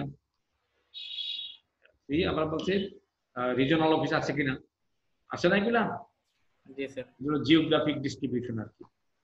অ্যাবিলিটি টু সাপোর্ট আর সুপারভাইজারের সক্ষমতার উপরে ডিপেন্ড করতেছে যে কতটুকু সে সুপারভাইজ করতে পারবে। আমার মনে হয় পর্যন্ত আমরা ম্যানেজমেন্টের চ্যাপ্টার শেষ করতে পারি। লাস্টে হলো, এটা হলো ম্যাট্রিক্স অর্গানাইজেশন এটি হলো নর্মালি প্রজেক্ট অর্গানাইজেশনের মতো এরকম ব্যাপার। Project organisation civil project infrastructure design করার জন্য তৈরি করা টেম্পোরারি একটা সেট আপ তৈরি করা প্রজেক্ট প্রজেক্ট মানে কি? প্রজেক্ট মানে কি? প্রজেক্ট মানে হচ্ছে স্যার যে কোনো একটা মানে এই কাজই তো এটা মানে সবগুলো আর কি যা মানে আমরা ধাপে ধাপে যেই কাজটা করি আর কি সব প্রজেক্টটা মানে পরিকল্পিত ভাবে একটা সংক্ষিপ্ত সময়ের জন্য একটা অর্গানাইজেশন পিউ স্যার পিউ স্যার একটা সংক্ষিপ্ত সময়ের জন্য কাজ পদ্মা ব্রিজ কি আজীবনের জন্য অর্গানাইজেশন থাকবে? না স্যার। এটা কনস্ট্রাকশন পিরিয়ডের জন্য একটা অর্গানাইজেশন তারপরে এটা নর্মাল ডিপার্টমেন্টে চলে যাবে। সেপারেট ডিপার্টমেন্ট মেট্রো রেল এখন যে বা কাজকর্ম চলছে এটা কি আজীবন থাকবে? না স্যার।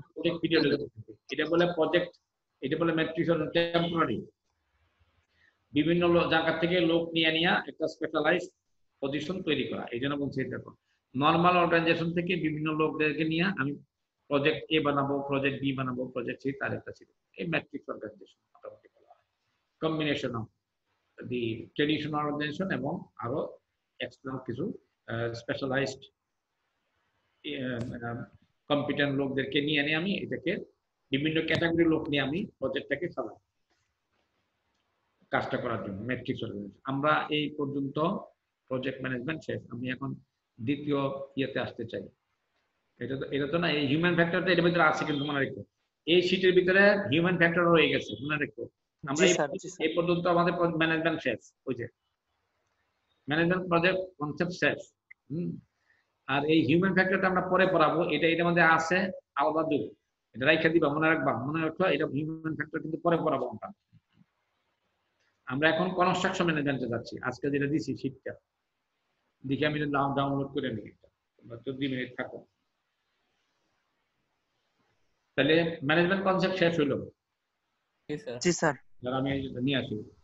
জি স্যার। মাসুম? জি। একটু আগে যে শীটটা পড়াইলো হ্যাঁ? এই শীটটা অ্যাকচুয়ালি কবে দেওয়া হয়েছিল? একটু দিতে পারবা? এটা অনেক আগে গ্রুপে আসছে দেখো। এই আজকে আরও বড়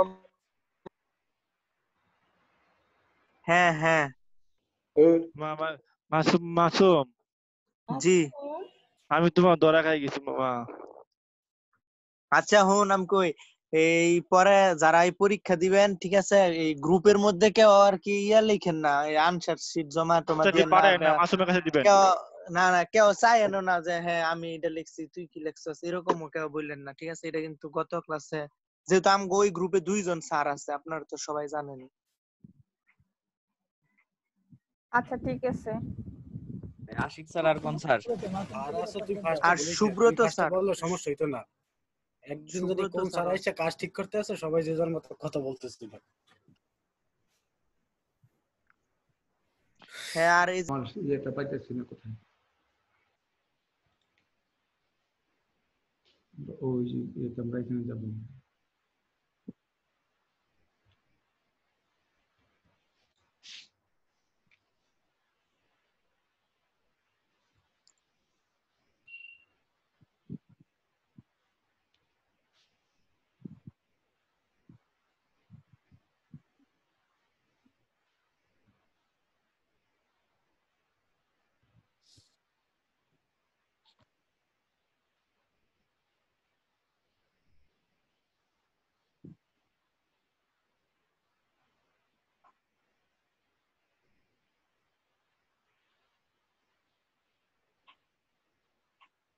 ষোলোশো তো ঠিক আছে এটা বলো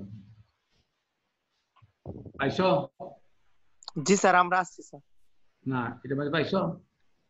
এখনও আসেনি। না স্যার এখনও শেয়ার হয় নাই স্যার। আচ্ছা আগেরটা ক্লোজ করছি আমি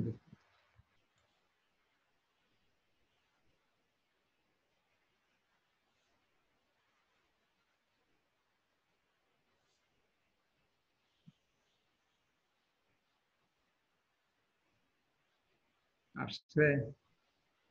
আসছে। জি স্যার আসছে। পাইছো? জি স্যার। জি স্যার। জি স্যার। দেখা যায়? জি স্যার। জি sir.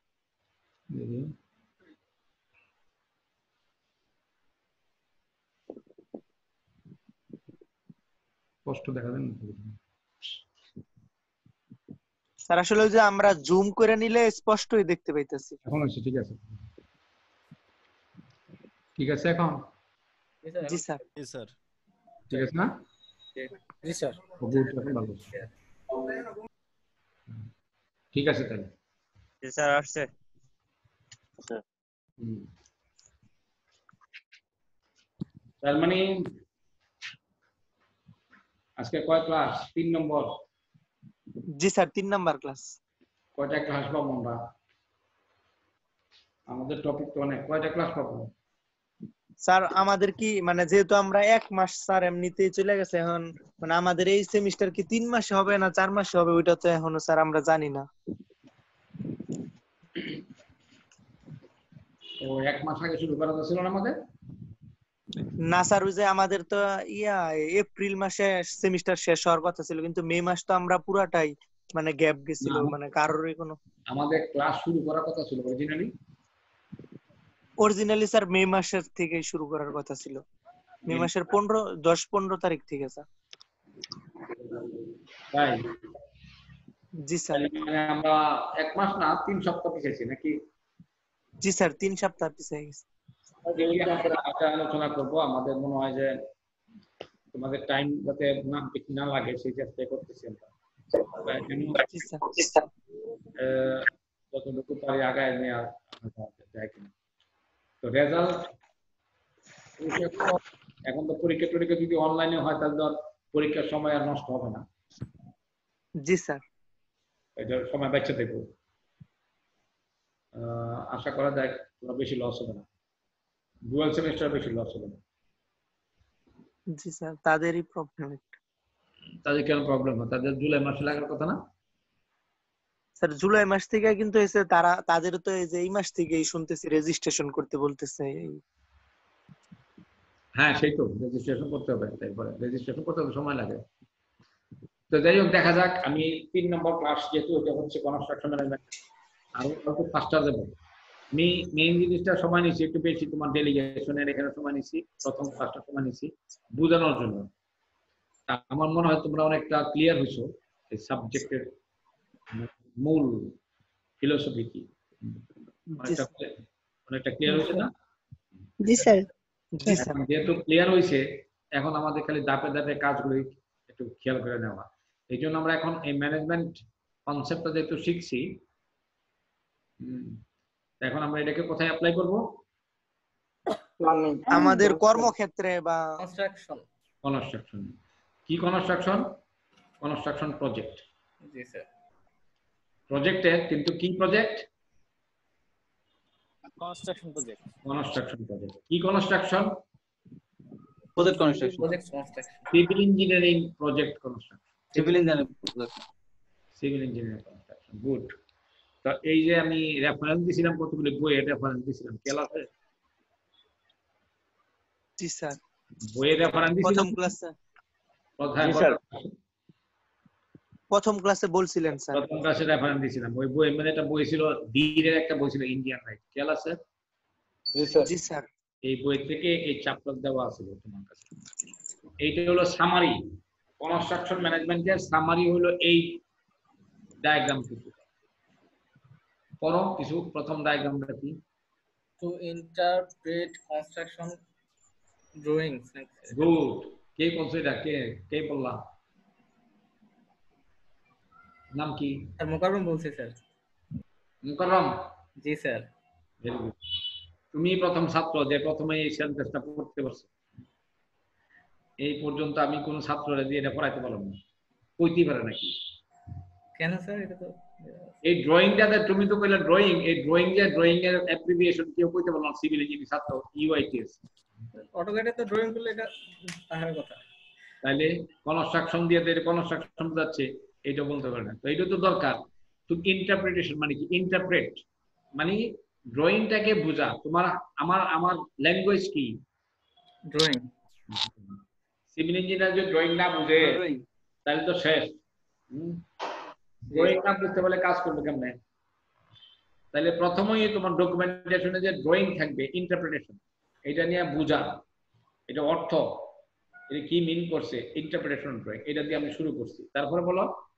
To interpret contract document contract document very important এটা কি ডকুমেন্ট কন্ট্রাক্ট ডকুমেন্ট অর্থাৎ যে ডকুমেন্টের আওতায় কাজগুলি করা হয়। তাই তো নাকি? সিম্পল ড্রয়িং নাম কি? টেন্ডার ডকুমেন্ট জি। তার জন্য দেওয়া হয়? কন্ট্রাক্টর ইঞ্জিনিয়ার তারপরে কি করতে পেয়েছে to plan organise and control progress construction work আমরা কি প্ল্যান করব কেমনে অর্গানাইজ করব কেমনে কন্ট্রোল করব কেমনে প্রসেস না এগুলো করছি না। জি স্যার আমরা ওই প্রসেসটা এখানে অ্যাপ্লাই করব। তারপরে? To inspect and control quality very good তাহলে তো হইতে। এই যে এইগুলো হলো আমার দাম এক ধাপ। তারপরে নিচে আসো। Principle of contract working and completion drawing principle of contract working and completion drawing very good তারপরে general and special condition of contract যে কন্ট্রাক্ট থাকবে দেখবা তোমাদের অনেকে কন্ট্রাক্ট নিয়ে ডিল করো। দেখবা স্পেসিফিক জেনারেল কন্ট্রাক্ট আছে ক্লজ আছে আই ই আছে এই যে কি বলে কন্ডিশন গুলি আছে সেগুলো দেখবা। তারপরে মানে এটার মধ্যে আছে labour laws and act and specification হ্যাঁ তাই তো তারপরে? Principle of planning organising controlling পড়ছি না আমরা? জি স্যার। আরও বেশি পড়ছি এর থেকে। তারপরে? Principle of inspection and quality control quality আমরা এগুলো পড়ব আরও ভবিষ্যতে। তো আমরা এই এই এই ভিতরে যে আমরা আছি সব নাকি? এর ভিতরে যে আমরা আছি? জি স্যার।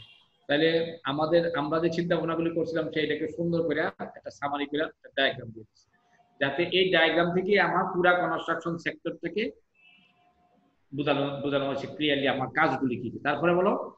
ওয়ার্ক ব্যাকগ্রাউন্ড স্ট্রাকচার হ্যাঁ? ওইটা তার আগে আছে লেবার নিচে স্যার। হ্যাঁ তারপরে যাও থার্ড লেভেলে যাও। লেবার লস এন্ড অ্যাক্টস হ্যাঁ এই লেবার লজ এন্ড এক্স তুমি কাকে কীভাবে এমপ্লয় করতে পারো তার কীভাবে কাজ করাতে পারো তার সেফটি রিকোয়ারমেন্ট কি তার নিজের রিকোয়ারমেন্ট গুলি কি কি কি কতটুকু কত ঘণ্টা কাজ করাতে পারো কি না আছে না আছে তার হেলথের কি অবস্থা আছে সব কিছু নিয়ে খেয়াল রাখবা। তারপরে? ওয়ার্ক ব্রেকডাউন স্ট্রাকচার হ্যাঁ ওয়ার্ক ব্যাকগ্রাউন্ড এই ওয়ার্ক ব্যাকগ্রাউন্ডেই আর সেকশন পড়াচ্ছে ওই যে। তার নিচে যাও দেখো ওয়ার্ক ব্যাকগ্রাউন্ড নিচে কি পড়াইতেছে? বার্চার টেকনিক আর্চার টেকনিক তারপরে? নেটওয়ার্ক টেকনিক টেকনিক তারপরে? পার্ট পার্ট সিপিএম এই এই জিনিসগুলি কে পড়াচ্ছে তোমাকে? Ashik sir Ashik sir. Ashik sir এইগুলি পড়াচ্ছে রিসোর্স শিডিউলিং এগুলি পড়াচ্ছে। ওকে ডায়াগ্রাম দেয়া দেয়া দেয়া। ক্রিটিক্যাল পাথ দেয়া ওই CPM critical path method project sir, এগুলি পড়াবে স্যার এই এই লাইন তারপরে? সিস্টেমস কনসেপ্ট সিস্টেম কনসেপ্ট পুরো সিস্টেমের ভিতরে তোমাকে নিয়ে তারপরে? Site organisation and job layout হ্যাঁ সাইট এই সাইট অর্গানাইজেশন করবা জব লেআউট জব ডেসক্রিপশন দিবা। তারপরে?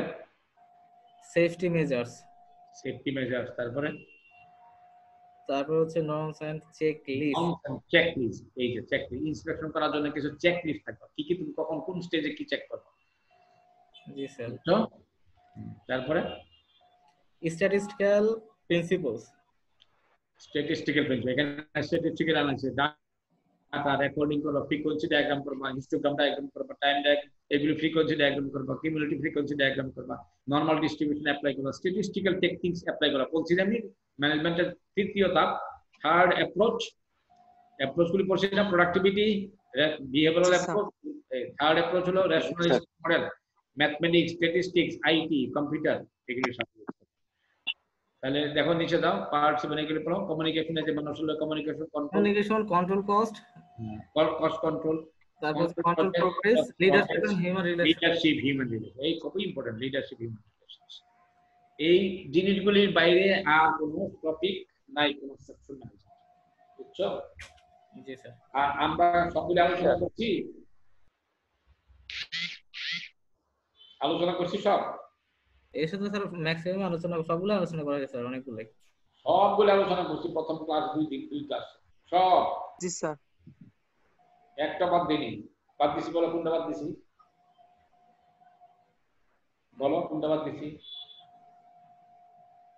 এখন এই হলো এই যে বলছে লার্নিং ফিলেক্স এখানে লার্নিং হিউম্যান না এটা হেডিংটা কি? Learning of construction management construction management বুঝতে গেলে লার্নিং এই এই এই এই এই এই জিনিসগুলিকে বোঝানো হয়েছে। বাস তুমি কনস্ট্রাকশন ম্যানেজমেন্ট বুঝে ফেলছো আর কিছু কথা ঠিক নেই। এবার আমরা একটু আগায় নেই ডেফিনেশন দিব। পড়ো ডেফিনেশনটা covers a comprehensive and practical construction management training. Practical. Practical, practical construction management training. Management training comprehensive এবং প্র্যাকটিক্যাল কনস্ট্রাকশন ম্যানেজমেন্ট ট্রেনিং এবং কি কি নিয়ে কনস্ট্রাকশন ম্যানেজমেন্ট কি করে দেখো ইট It mainly deals with the construction management techniques, construction project and site management, personal management, and the use of plant and materials in construction. সব এগুলি আমরা সব কিছু হ্যাঁ It is desired that the students are familiarized with construction procedures, problems, and techniques which they will face when working in the construction industry. Very good তাহলে এই হলো definition আমি যদি ডিফাইন কনস্ট্রাকশন ম্যানেজমেন্ট তাহলে কি করবা It mainly deals, sir, এখান থেকে যেটা আছে the construction management techniques. আমি যদি ডেফিনেশন দেই define management construction management the terms management administration construction management project management এগুলি কিন্তু খুব ফান্ডামেন্টাল প্রশ্ন। তাহলে পারবা? জি স্যার। হ্যাঁ পারতে হবে। ম্যানেজমেন্ট কি? কনস্ট্রাকশন ম্যানেজমেন্ট কি? প্রজেক্ট ম্যানেজমেন্ট কি? অ্যাডমিনিস্ট্রেশন কাকে বলে? এগুলি আমরা পড়াইছি না? জি স্যার। এখন আমরা কনস্ট্রাকশন কাজ বলতে কি বুঝি? এই সব সবই বোঝা যায় বলো।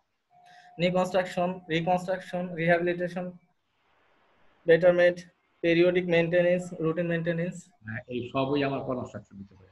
মেইনটেনেন্স কাজ মানে এটা বাইরে না কিন্তু মেইনটেনেন্সের প্রজেক্ট আছে। Road rehabilitation and maintenance programme রাস্তা রোডস এন্ড হাইওয়ে যে বিশাল হাজার হাজার কোটি টাকা প্রজেক্ট তিনশো কিলোমিটার রাস্তা রিহেবিলিটেশন প্রোগ্রাম বেটারমেন্ট প্রোগ্রাম এই যে বলছে রিহেবিলিটেশন রিহেবিলিটেশন কোন কোন প্রজেক্টগুলি হবে? রোড এখন যে ড্যামগুলি হয়েছে ধ্বংস হয়ে গেল এই যে সাইক্লোনে ব্রিজ ধ্বংস হয়ে যাচ্ছে বিল্ডিং ধ্বংস হয়ে যাচ্ছে। তো সবগুলি কিন্তু তোমার এই রিহ্যাবিলিটেশন ভিতরে পড়ছে। তো স্টেজেস গুলি দেখি। Briefing stages briefing stage designing stage construction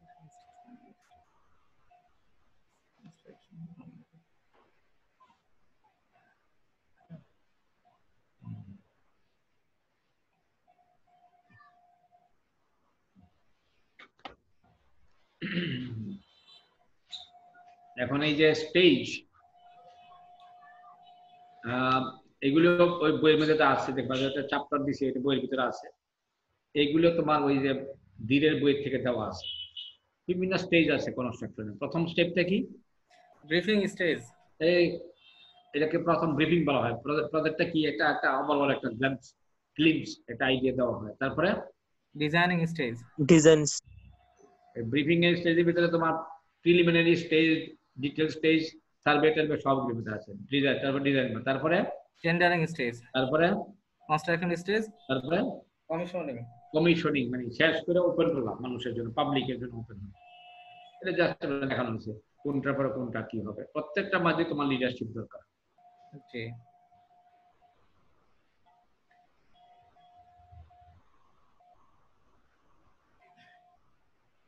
জি আচ্ছা না কেন হ্যাঁ বলছি নাকি আবার? না স্যার এখানে ক্লিক করেন একবার স্যার। ক্লিক করলে হবে। ভিতরে স্যার ঠিকই তো আছে। স্যার ভিতরে একবার ক্লিক করেন হ্যাঁ দেন না দিলাম তো।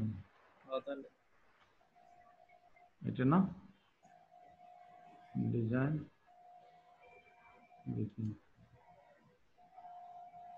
হ্যাঁ ঠিক আছে? জি। হ্যাঁ। বেসিক স্টেজ তারপরে এলো কি? দেখো এক্সিকিউশন মেথডস জি। তারপরে কেমনে কেমনে করবা কাজটা? ছোট ছোট কাজ হলে কি করবা? In house project in house তুমি নিজের লোক বল দিয়েই নিজে নিজে টুকিটাকি কাজ করে ফেলতে পারো। পারো না? জি। আবার বড় কাজ হলে project project management construction contract দিবা। বিউটি দিবা। বিউটি মানে কি? বিল্ডিং অপারেট এন্ড ট্রান্সফার হ্যাঁ এক্সাম্পল দাও দিয়ে একটা প্রজেক্টের যারা আমি একটা লিড দিয়ে দিলাম। যাত্রাবাড়ি ফ্লাইওভার দেখছ তো? জি। জি স্যার। মেয়র হানিফ এটা এটা মিডল ইস্টের কোম্পানি থেকে দেওয়া হয়েছে লিজ এটা বলছে সে বিল করবে এই যে সে বিল তার নিজের টাকা দিয়ে খরচ করে বিল করবে। তারপরে কি করবে? অপারেট করবে। সে নিজে অপারেট করবে কয়েক বছরের জন্য খাবে। তারপরে? ট্রান্সফার করে দিবে। তারপর সরকারের কাছে ট্রান্সফার করবে এটা কি দেওয়া হলো? যে পার্টনারশিপ আমরা বলি না গভর্নমেন্ট প্রাইভেট পার্টনারশিপ জি। এই ধরনের প্রাইভেট পার্টনারশিপ টার্ম কি প্রজেক্ট একটা টার্ম দেওয়া হয় যে তুমি প্রজেক্টটা করে ততদিন খাইয়া তুমি চলে যাও। তো এইগুলো এগুলো হইতে পারে। তখন এই যে তুমি বিউটি প্রজেক্ট দিবা তখন তোমার কন্ডিশন বলি কি? কত বছরের জন্য দিবা? সে চাবে বেশি বছর ধরে খাইবা না তুমি চাইবা কম কম বছর জন্য খাইতে কম সময়ের মধ্যে সে ছেড়ে চলে যান। আর সে দিব না আমি যতদিন খাই দিতে পারি এই জিনিসগুলি কীভাবে দিবা এগুলি তোমাদের জানতে হবে। আর আমরা মেইনলি প্রজেক্ট ম্যানেজমেন্ট নিয়ে কথা বলতে পারি। ওকে টেকনিক্স বিভিন্ন প্রজেক্টের সিলেকশনের জন্য কি টেকনিক্স হয় ইভালুয়েশনের জন্য কি, এগুলো আস্তে আস্তে আমরা পর্যায়ক্রমে দেখব কীভাবে করা হয়। প্রজেক্ট শিডিউলিং এর জন্য এই যে বার চার্ট পড়াচ্ছে এই যে সিপিএম পড়াচ্ছে এটা আশিক স্যার পড়াচ্ছে আমরা এগুলি পড়াবো কস্ট বেনিফিট অ্যানালাইসিস গুলি পড়াবো এই যে কস্ট বেনিফিট অ্যানালাইসিস গুলি পড়াবো সিলেকশন ইভালুয়েশন মনিটরিং করার জন্য কি কি টুলস আছে এগুলো তোমরা নিজেরা নিজের ভবিষ্যতে দেখে নিবা প্রজেক্ট মনিটর করবা কেমনি যে কি কিউমুলেটিভ ডিস্ট্রিবিউশন কতটুকু ফাইন্যান্সিয়াল প্রগ্রেস হয়েছে কতটুকু ফিজিক্যাল প্রগ্রেস হয়েছে আছে না? যে পাঁচ বছরের প্রজেক্ট তিন বছর গেছে। ফিজিক্যাল কতটুকু প্রজেক্ট হলো, এটা তুমি একটা ডায়াগ্রাম করে শো করবা। এগুলো তোমার অনলাইনে দেখবা, তুমি নানান জায়গা দেখবা। আমরা এত ডিটেল পড়াচ্ছি না এখানে। আবার এট দ্য সেম টাইম এটা ফাইন্যান্সিয়াল প্রগ্রেসটা কি হলো? যে যতটুকু কাজ করছে, তার চেয়ে বেশি টাকা দিছো না কম টাকা দিছো? নাকি কি হচ্ছে? বা কতটুকু খরচ করার কথা ছিল, কতটুকু করতে পারি নাই? এই এইগুলো মনিটরিং প্রজেক্ট তাহলে সেখান থেকে তোমাকে নিজের ডিসিশন মেকিং এর জন্য পরিবর্তন আনতে হতে পারে। টিম। এই বড় ইম্পর্টেন্ট দিন আজকে শিখে নাও। কনস্ট্রাকশন টিম কাকে বলা হয়? ওনার ইঞ্জিনিয়ার কন্ট্রাক্টর দি ওনার এটা ডব্লিউটা বড় হাতের হবে যে ওটা বড় হাতের হবে বড়। বুঝছ? জি স্যার। ওনার বা অথরিটি এজেন্সি যেটা বলছি এজেন্সি অর্গানাইজেশন ঠিক আছে? জি। আর পক্ষে যে কাজটা করে তাকে বলা হয় ইঞ্জিনিয়ার ইঞ্জিনিয়ার ইঞ্জিনিয়ার বলা হচ্ছে। এখানে তুমি একটা ইঞ্জিনিয়ার নাই যে টিম প্রজেক্টের টিমকে এখানে ডি ইঞ্জিনিয়ার বলা হয়। হু সুপারভাইজ আর তা কি পার্টি থাকে? কন্ট্রাক্টর কন্ট্রাক্টর অর্থাৎ সিম্পল ভাবে বলতে পারি দুইটা পার্টি। দুই পার্টি বলতে কাকে কাকে বলব? ওনার ইঞ্জিনিয়ার দি না the owner engineer contractor the Engineer owner the engineer the contract the contractor কারণ ইঞ্জিনিয়ার তো ওনার পক্ষে কাজ করছে। জি জি। তাহলে আমরা সিম্পল ভাবে দুইটা পার্টি বলব আমরা। The engineer and the contractor contractor the ইঞ্জিনিয়ারের যে চিফ সে হলো প্রজেক্ট ম্যানেজার সেই লিডার তুমি এখানে এই লিডারশিপ ফাংশনটাই আমরা তৈরি করার জন্য এই কোর্স করাচ্ছি। বুঝতেছ? জি।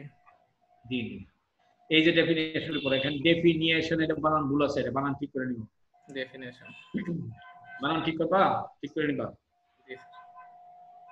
Definition definitions the project management construction management এই যে cost quality time time site management machine labour material state এইগুলো তোমরা আর এই দুটা মিলে এই হলো প্রজেক্ট ম্যানেজমেন্ট এই রিলেশনশিপটা ভালো করে ইম্পর্টেন্ট দেখো। এই প্রজেক্ট ম্যানেজমেন্টের দুই কয়টা কম্পোনেন্ট দুইটা কম্পোনেন্ট বলো। কনস্ট্রাকশন সাইট দুইটা কম্পোনেন্ট হ্যাঁ এখন কনস্ট্রাকশন ম্যানেজমেন্টে কি কি থাকে? কোয়ালিটি প্রোগ্রামিং কস্ট গুড আর সাইটে সাইট আছে machine safety environment and others and others আবার কোয়ালিটি ম্যানেজমেন্টে কি থাকে? Quality quality control dimension control dimension control measurement এই মেজারমেন্ট দিয়ে এইগুলো আসল জিনিস মেজারমেন্ট বুক থাকে না? অনেকে তোমরা জানো নাম শুনছো মেজারমেন্ট বুক নাম শুনছো কেউ এমবি সরকারি প্রতিষ্ঠানে কেউ চাকরি করে কেন পরে তো আমাদের এখানে একজন আছে তো স্যার। জি স্যার আছি স্যার। কেরা? আমি আব্দুল মোমিন। কোন জায়গায় চাকরি করো? Sir directorate of technical education technical education তাহলে এখানে কনস্ট্রাকশন নাই কি? কনস্ট্রাকশন আছে? স্যার আমাদের অনেক প্রজেক্ট আছে বাট আমাদের সাইট ওয়ার্ক নেই আমার। রাইট সেই জন্য পারবা না। ডাইমেনশন মেজারমেন্ট রেকর্ডিং এইটা হলো আসল জিনিস তিনশো কিলোমিটার রাস্তা বানাইবা এক কিলোমিটার লং একটা ব্রিজ বানাইবা তাহলে এইটার মেজারমেন্ট কত কোয়ান্টিটি বিটুমিন লাগছে কত কোয়ান্টিটি সিমেন্ট লাগতেছে কত কোয়ান্টিটি কত মিলিয়ন টন বা কত টন রেনফোর্সমেন্ট লাগবে সব কিছু এখানে মেজারমেন্ট থাকবে। ডাইমেনশন যদি পেভমেন্ট হয় কত ফিট কত ডাইমেনশন কত থিকনেস কোন লেয়ারে কত thickness sub grade sub base base surface এগুলো সব ডিটেল মেজারমেন্ট থাকবে। এবং যার উপর বেস করে কি হবে? বিলিং হবে। এবং এইগুলো আসল ক্রিটিক্যাল এই মেজারমেন্ট ঠিক না থাকলে তোমার কোয়ালিটি শেষ হয়ে যাবে। প্রজেক্ট ম্যানেজমেন্ট এখানে কতগুলি শীট আছে আমার ওখানে ওই যে বইয়ের মধ্যে থাকতে পারবা তুমি দেখবা এটা ডিটেল করবা। এই প্রজেক্ট ম্যানেজমেন্ট নিয়ে আমরা এখন ডিল করছি। এই প্রজেক্ট ম্যানেজমেন্টের তিনটা কম্পোনেন্ট থাকে। বলো। Managing the work managing the staff managing the own self hmm? On self on self one self মানে কি? নিজের। নিজের। সেলফ কতক্ষণ আগে বলা ছিল সেলফ ম্যানেজমেন্ট জি স্যার। তাহলে নিজেকে ম্যানেজ করবা আর কাকে ম্যানেজ করবা?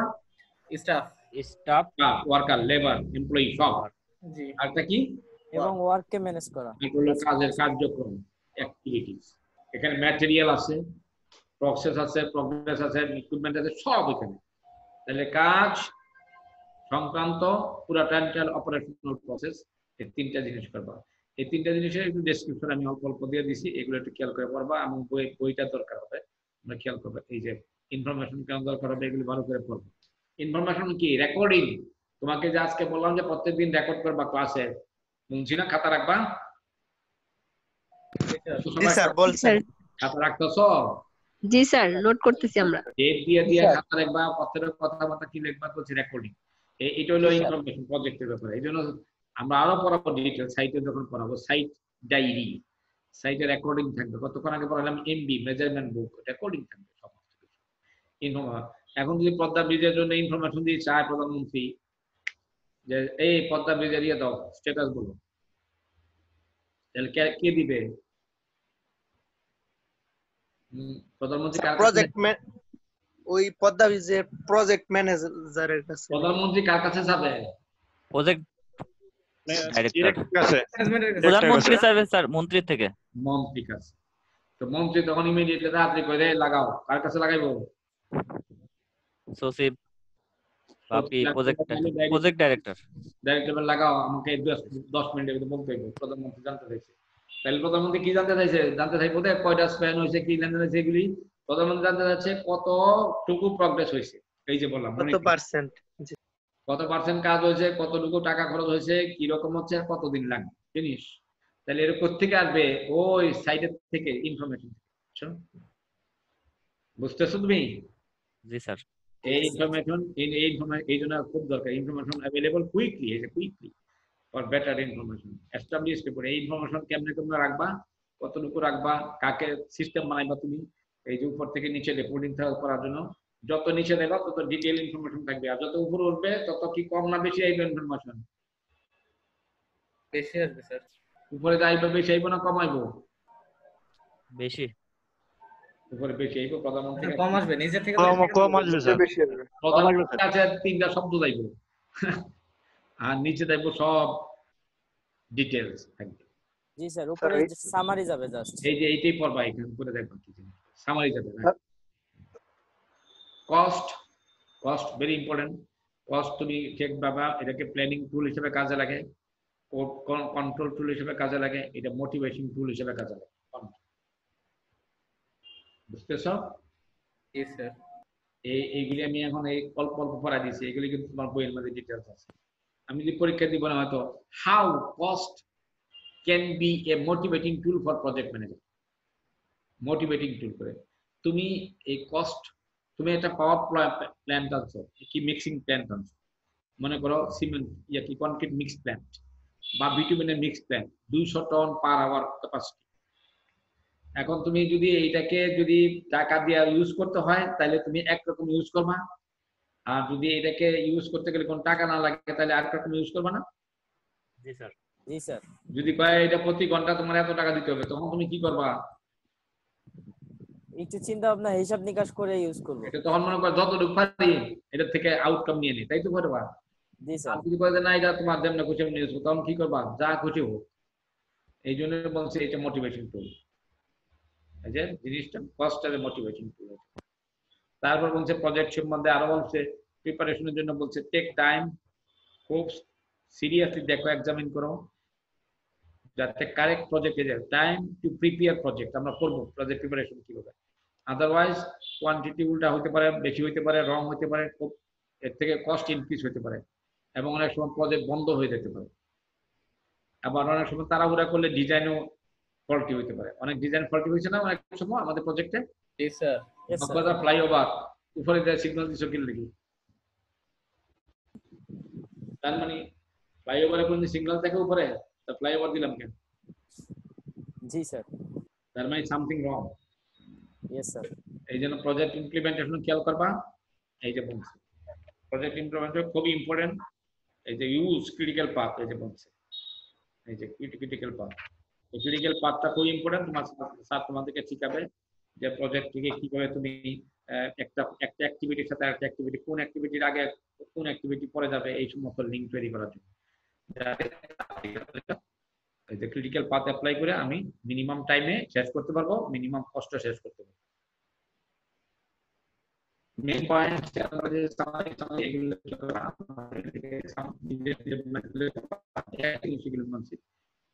রিপিট করছি আমি। স্টাফ গুলিকে ইউজ করার জন্য সাবধান থাকবা। এই যে স্টাফ স্টাফ গুলি আননেসেসারি যাবা না শিফট কি করে রোটেশন করাবা না সম্ভব। টাইমটাকে এফেক্টিভ ইউজ করার চেষ্টা করবা। আর নিজেরটাকে খেয়াল করবা, এই যে নিজে নিজে নিজে। এখানে টাইম ক্রিটিক্যাল অপারেশন সম্বন্ধে তোমার ধারণা থাকবে টাইম ক্রিটিক্যাল অপারেশন তুমি এমন জিনিস কতগুলো তোমার সামনে আসবে, এটা যদি ওই টাইমে না করো, তাহলে তোমার চূড়ান্ত বিপদ। আর যদি ওই টাইমে তুমি করে ফেলো, তাহলে তোমার অনেক সহজ হলো এবং অনেক চিপলি তুমি করতে পারো। এটা বলে টাইম ক্রিটিক্যাল অপারেশন এক্সাম্পল বলো। টাইম ক্রিটিক্যাল অপারেশন মনে করো আবার তোমার একটা কথা এক্সাম্পল বলি। তোমার একটা মেজর হাইওয়ে প্রথম প্রথম কি হয়? নষ্ট হইলে প্রথমে একটু ক্র্যাক দেখা দেয় নাকি? জি স্যার একটু ক্র্যাক দেখা হয় একটা পাথর উঠে দেয় হয় নাকি? জি স্যার আস্তে আস্তে এটার ভিতরে না সাথে সাথে ঠিক না করলে এই ক্র্যাকটা কি হয়? আর বড় হয়। ক্র্যাকটা বড় হয়। গর্তটা কি হয়? বড় হয় স্যার। তারপরে আর আর কিছুদিন গেলে পরে আর কি হয়? পরে? ভেঙে যায়। ভেঙে পড়ে যায়। তারপরে রাস্তা বন্ধের মধ্যে এত ধান ক্ষেত লাগায় লাগায় না? তার মানে এই যে তুমি সময় গেলে নষ্ট করলা প্রথম যদি তুমি এই অর্থ পেভমেন্ট ডিজাইন পড়াইছে? পেভমেন্ট মেইনটেনেন্স পড়াইছে? জি স্যার পেমেন্ট ডিজাইন করো এই যে ডিজাইন পড়াইছে না মেইনটেনেন্স কনস্ট্রাকশন ফল্ট মেইনটেনেন্স পড়াইছে কে পড়ায়? জি স্যার পড়েছে স্যার। স্যার ওটা সানাউল্লাহ শামিম স্যার পড়াইছিল এই মেইনটেনেন্সগুলো ভালো করে পড়বা যেমন এটাই বলছি তোমার যদি ওই সময় যদি অল্প সময়ে যদি তুমি করতে পারতা সামান্য একটু মিক্স বিটুমিন মিক্স বা বিটুমিনাস পেভিং মিক্স কিছু এগ্রিগেট দিয়ে মিশায় তুমি এটাকে রোলিং করে দিলে পেভমেন্টটা ঠিক থাকতো শক্তি ঠিক থাকতো। যেহেতু তুমি করলা না সময় যাচ্ছে যাচ্ছে। এখন অনেক এক্সাম্পল আছে ড্যাম ডোম সবই আছে ব্রিজ আলটিমেটলি রাস্তা পুরোটা ভেঙে গেছে। তার মানে এখন কি? মেজর মেজর রিকনস্ট্রাকশন শুরু হয়েছে। তার মানে এখন হাজার হাজার কোটি টাকা লাগতেছে। তাই তো লাগতেছে নাকি? Time time time dependent time critical the time is to be alert তোমাকে অ্যালার্ট থাকতে হবে। Time critical operations and works যে অল্প সময়ের মধ্যে ওই সময় যদি তুমি দায়িত্ব করো, তুমি অনেক অল্প সময়, অল্প অল্প খরচে কাজটা করতে পারবে। আর যদি তুমি এটা খেয়াল না রাখো, তোমার উপরে সাংঘাতিক বোঝা হইয়া দাঁড়াবে। একে বলতে টাইম ক্রিটিক্যাল এটা নিজেকে ম্যানেজ করার জন্য একটা বড় বড় বড় বড় অপশন কিন্তু সিপি ইউজ করবা, এগুলো তোমার খেয়াল করবা। কনস্ট্রাকশন সুপারভিশন এটা একটা চার্ট আছে। খুবই ইম্পর্টেন্ট আমরা কতক্ষণ আগে বললাম? সাইট সুপারভিশন করছি না? এই সাইটের যে সুপারভাইজার থাকে তার নাম কি? Site site engineer. Site engineer. হ্যাঁ এটা এখন সাইট ইঞ্জিনিয়ার নাম আবার কেউ বলছে সাইট সুপারভাইজার। সুপারভাইজার হলে এগুলি খুব ব্যাড নাম। এই জন্য এটার ইম্পর্টেন্স বাড়ানোর জন্য নাম দিছে কি? রেসিডেন্ট ইঞ্জিনিয়ার হ্যাঁ? Resident engineer very very important সে পুরা চিফ ওখানকার প্রেসিডেন্টের জন্য। তার বলতে দেখো কি বলছে? Delegation of power and all routine matters delegation authority কি? সবগুলো এখানে বলা আছে। তোমার কি পাওয়ার টাওয়ার সব দেওয়া আছে। ক্লিয়ার স্ট্রাকচার প্ল্যান কতগুলি স্টাফ নিবা, কি নিবা নেওয়া সবগুলো বলা আছে। এখানে একটা বড় একটা এস্টিমেশন দেওয়া আছে, কতগুলি স্টাফ থাকে এই জিনিসটা তুমি মনে রাখো। এটা কি লিখছি বলো তো? প্রজেক্ট না estimating supervision staffing developing countries এটা কিন্তু কোনো টেক্সট বই পাইবে না। এটা ওয়ার্ল্ড ব্যাংকের একটা গাইডলাইন গাইড বই বাড়িছে যে এক্সপিরিয়েন্স ডেভেলপিং কান্ট্রিজে পার্টিকুলারলি আফ্রিকা এশিয়াতে যে যে টাকা পয়সাগুলি খরচ করে ওয়ার্ল্ড ব্যাংক মেজর টাকাগুলি খরচ করছে কনস্ট্রাকশন প্রজেক্টে তার থেকে এস্টিমেট করে বার করছে যে কত বড় প্রজেক্টে কত লোক লাগবে।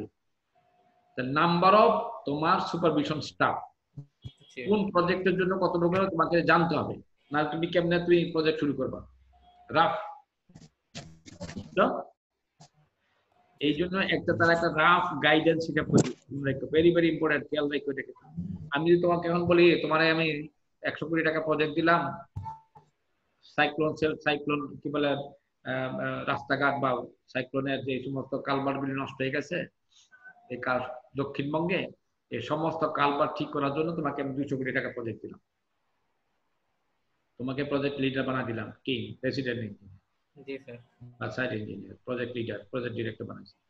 এখন তুমি আমার কইবা তোমার কত কোটি লোক লাগবে? পারবা? তোমাকে যদি তুমি প্রথমে কইবে আমার সাথে দশটা গাড়ি লাগবে এটা কইবে ফট পড়াই গাড়ি লাগবে আগে কিন্তু কত লোক লাগবে এটা তো কইতে পারতেছ না। তাহলে তুমি কি জানা কি নিয়ে রাস্তায় নামবা? তোমার অর্গানাইজেশন স্ট্রাকচারটা কি হবে? অর্গানোগ্রামটা কি হবে? এইটা হলো এই জিনিসটা। তাহলে এখানে একটা গাইডলাইন দেওয়া আছে যে দেখো নাম্বার অফ কি লেখছে এখানে?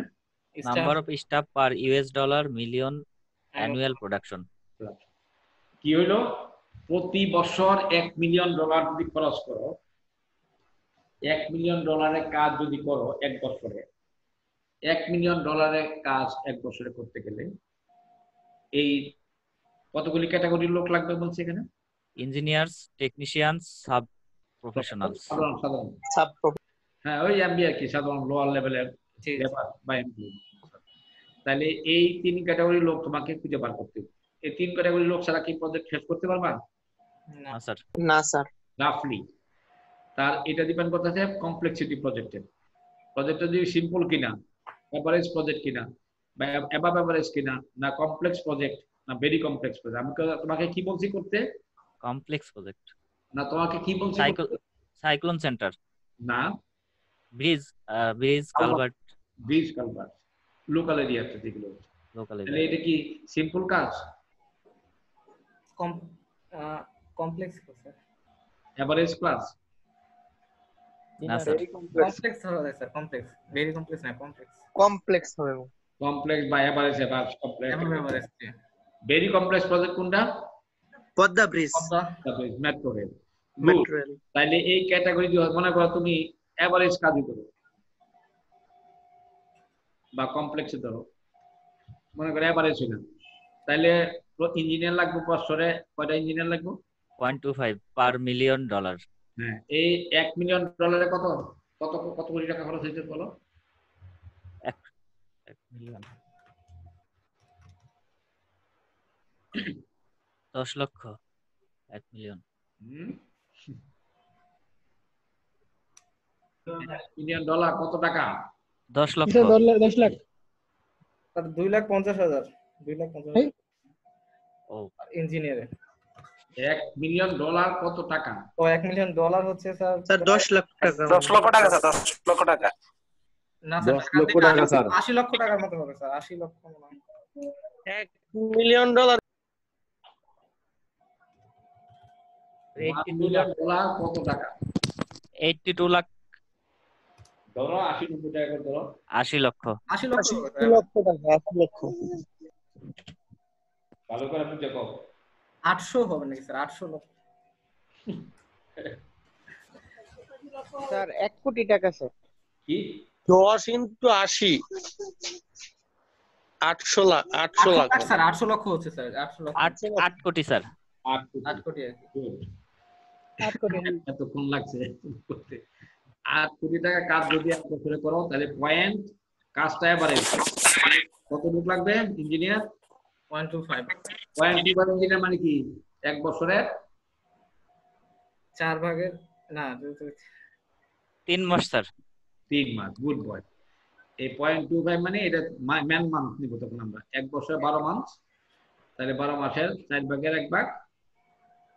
থ্রি মান্থ থ্রি মান্থ তাহলে থ্রি ম্যান মান্থস অফ কি লাগবে? ইঞ্জিনিয়ার তাই তো? জি। Sir one man one man per month a per three month one man month one man year তো এটা এক বছর তো one man year one man point point two five কে যখন কনভার্ট বছর একটা বছরে point two five point two five man year তার মানে point two five man year হলে কত ম্যান মান্থ হয় sir one man per three month ওই তো থ্রি ম্যান মান্থ হলো ওটাই তো ঠিক আছে জি তিন মাস নাকি? জি স্যার। হ্যাঁ থ্রি ম্যান মান্থস আর যদি আরও কম হতো তাহলে ম্যান ডেইজ ম্যান উইক এইরকম ভাবে হিসাব ম্যান আওয়ার আরও কম হলে জি। এইভাবে হিসাব করতে হবে ডেফিনেশন মানুষের ইঞ্জিনিয়ার বা যে কোনো ম্যান মান্থ আমার তোমার সময় হিসাব করবে কেমন? Man month man year man days man week এইভাবে তৈরি করবে। টেকনিশিয়ানদের তাহলে এই রেশিওটা মোটামুটি খেয়াল রাখবে এত লোক লাগবে। কমপ্লেক্স হলে এইরকম লাগবে ইঞ্জিনিয়ার তার মানে যতই কমপ্লেক্স বাড়তে ইঞ্জিনিয়ার সংখ্যা বাড়তেছে না। এটাও বাড়তেছে। না আপনি খেয়াল রাখবেন। যেমন একটা এক্সাম্পল দিচ্ছি এখানে কতটুকু? পঞ্চাশ মিলিয়ন ডলার প্রজেক্ট লাগবে আড়াই বছর। তাহলে কত ম্যানুয়াল লাগবে? যে কত নাম্বার অফ স্টাফ রিকোয়ার্ড এরকম পরীক্ষা থাকবে তোমার প্রশ্ন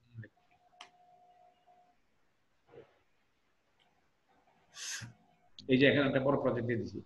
এক্সাম্পল দিয়ে দিছি। খেয়াল আছে স্যার? এই যে কতটুকু ইঞ্জিনিয়ার লাগবে কতটুকু টেকনিশিয়ান লাগবে কতটুকু সাব প্রফেশনাল লাগবে। আমরা এটা খেয়াল করব এইগুলো কিন্তু পরীক্ষা থাকবে এই ধরনের প্রশ্ন মনে রাখছো বুঝছ? জি স্যার। জি স্যার। ইম্পর্টেন্ট জন্য। তুমি ইঞ্জিনিয়ার তুমি লিডার তোমাকে বলতে হবে কটা ইঞ্জিনিয়ার লাগবে কত টাকা কাজের জন্য কতটুকুর জন্য কত বছর করবা কি জানেন এগুলো খেয়াল করব। আমরা একটু শেষ করে দিচ্ছি আর লাস্টে এই সুপারভিশন কেমন অর্গানাইজ করবা? দেওয়া আছে। সাইট সম্বন্ধে কিছু ইম্পর্টেন্ট পয়েন্ট আছে এগুলি বললাম সাইট সুপারভিশন পয়েন্ট নেবা। নেক্সট ক্লাসে কিন্তু পরীক্ষা হবে ম্যানেজমেন্টের উপরে। নেক্সট ক্লাসে দশ মিনিটে পরীক্ষা হবে কিসের উপরে? ম্যানেজমেন্টের উপরে। ওই যে কাল আজকে যেটা শেষ করলাম ওই ওই চ্যাপ্টার ওই। স্যার কনস্ট্রাকশন ম্যানেজমেন্ট না কনস্ট্রাকশন ম্যানেজমেন্ট হলো পরের ক্লাসে স্যার ডেলিগেশন কমপ্লিট পুরো ম্যানেজমেন্টের শীট স্যার আমাদেরকে পরীক্ষা হবে না স্যার পাবেল খান ইনুস আলী। তোমাদের আজকে হবে। এই যে এখন দিচ্ছে দশ মিনিটের জন্য দিয়ে যাচ্ছি শেষ করতেছি আমি, দাঁড়াও জি স্যার এবং আগামী সপ্তাহে তোমাদেরও সবার পরীক্ষা হবে। তোমরা তো কতটা দিচ্ছ ইউনিভার্সিটির কতটা পরীক্ষা দিচ্ছ আজকে। জি স্যার আগামী সপ্তাহে আবার ওই দশ মিনিট করে তৈরি করে আনবা। কি দিব? কিসের উপরে? ম্যানেজমেন্ট ম্যানেজমেন্টের উপরে। টোটাল ম্যানেজমেন্ট সিলেবাস উপরে। কমন কমন জেনারেল ম্যানেজমেন্ট এই কলেজ ম্যানেজমেন্টটা দিব পরেরটা আমরা প্রত্যেক অল্টারনেট উইকে দেওয়ার চেষ্টা করব বা আরও আরও আরও তাড়াতাড়ি করে দেবো যাতে আমাদের অ্যাসেসমেন্টটা মোটামুটি হাতে আছে পরীক্ষা টরীক্ষা কি হবে আমি জানি না এখনও তোমাদের কি হচ্ছে বাট আমরা রেডি থাকতে জি স্যার এই ক্যারেক্টারিস্টিক ওই যে সাইট সুপারভিশনের জন্য কতগুলি ভালো বৈশিষ্ট্য থাকতে হবে এই যে এগুলি পড়বা।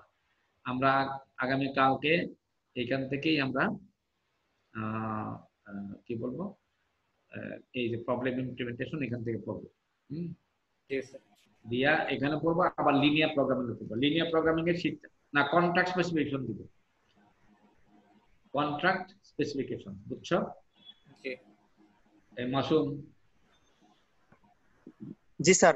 কন্ট্রাক্ট স্পেসিফিকেশনের যেটা আমি আজকে বা কাল আগামী এই- সপ্তাহে দিয়ে দেবো একদম দিয়ে দেবো আচ্ছা এইটা শেষ করার পরে কন্ট্রাক্ট স্পেসিফিক লেখা রাখো খাতায় কন্ট্রাক্ট স্পেসিফিকেশন আর একটা শিট দিব তো আমরা এখানে শুরু করব লেখা রাখো কোথায়? The problem of project implementation এখান থেকে শুরু করব নেক্সট ক্লাস ঠিক আছে স্যার। আজকে এই পর্যন্তই শেষ। তো এখন আমি সবার কাছে বলতে তোমরা বাকিরা চলে যেতে পারো। যারা কতটা পরীক্ষা দাও না কয়জন আছে এরকম আর আমি আছি 41 স্যার আমি আছি 57 যাই হোক যে কজন আছো মাসুম খেয়াল রাখছো? জি স্যার। স্যার আমি আছি স্যার পাবেল খান স্যার। আজকে ম্যাক্সিমাম কতজন ছাত্র ছিল আমরা একটা টাইম স্যার 47 স্যার। 47 এটা অ্যাটেন্ডেন্স দিয়ে রাখো। আমি প্রশ্নটা এখন লেখো সবাইকে যারা যারা পরীক্ষা দিবা। এই যে ইউনুস পাবেল 42 ফাহিম ক্লাস ক্লাস আর যারা নাকি দিতে পারো না তারা দিবা। আজকে জমা দিবা এখন 10 মিনিট আমি বুঝে রয়েছি যার যেটা করো লিখে রাখো প্রশ্নটা নোট করো। Ready sir G sir. Why and how? Sir আরেকবার। দুইটা শব্দ কইছি তাও পারলাম না। Net problem. Why and how? ও আচ্ছা। Why and how?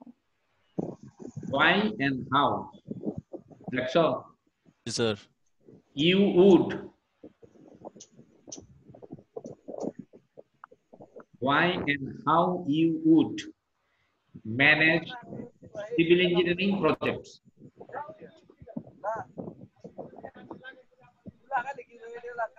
বলো প্রশ্নটা পড়ো why and how you would manage civil engineering project হ্যাঁ, তুমি কেন এবং কীভাবে সিভিল ইঞ্জিনিয়ারিং প্রজেক্ট ম্যানেজ কি বুঝছ প্রশ্ন? কীভাবে এবং কেন সিভিল ইঞ্জিনিয়ারিং প্রজেক্ট ম্যানেজ করব? ম্যানেজ করো good. Why and how would you manage civil engineering project? প্রশ্ন লেখা উত্তর লেখো দশ মিনিট। টাইম দেখছ কটার সময়? এখন টাইম দেখো। আহ, দশ মিনিট। দশ। না পাঁচটা দশ কেন? পাঁচটা বিশ হবে, পঁচিশ। বাজে স্যার। সব ছটা পঁচিশ পাঁচটা পঁচিশ আমরা তো প্রায় তো কত সোয়া দুই ঘন্টা- পনেরো দুই ঘণ্টা ক্লাস নিলাম। জি স্যার। জি স্যার। থ্যাংক ইউ এক সিটিং এ বইয়া ক্লাস নিছো। আই এম ভেরি সরি আমিও খুব টায়ার্ড হয়ে গেছি। জি স্যার। আপনার অনেক কষ্ট হইতাছে স্যার। হ্যাঁ আমার কিন্তু কষ্ট বেশি হইব তোমাদের মতো বুদ্ধিমান মানুষ না আমি।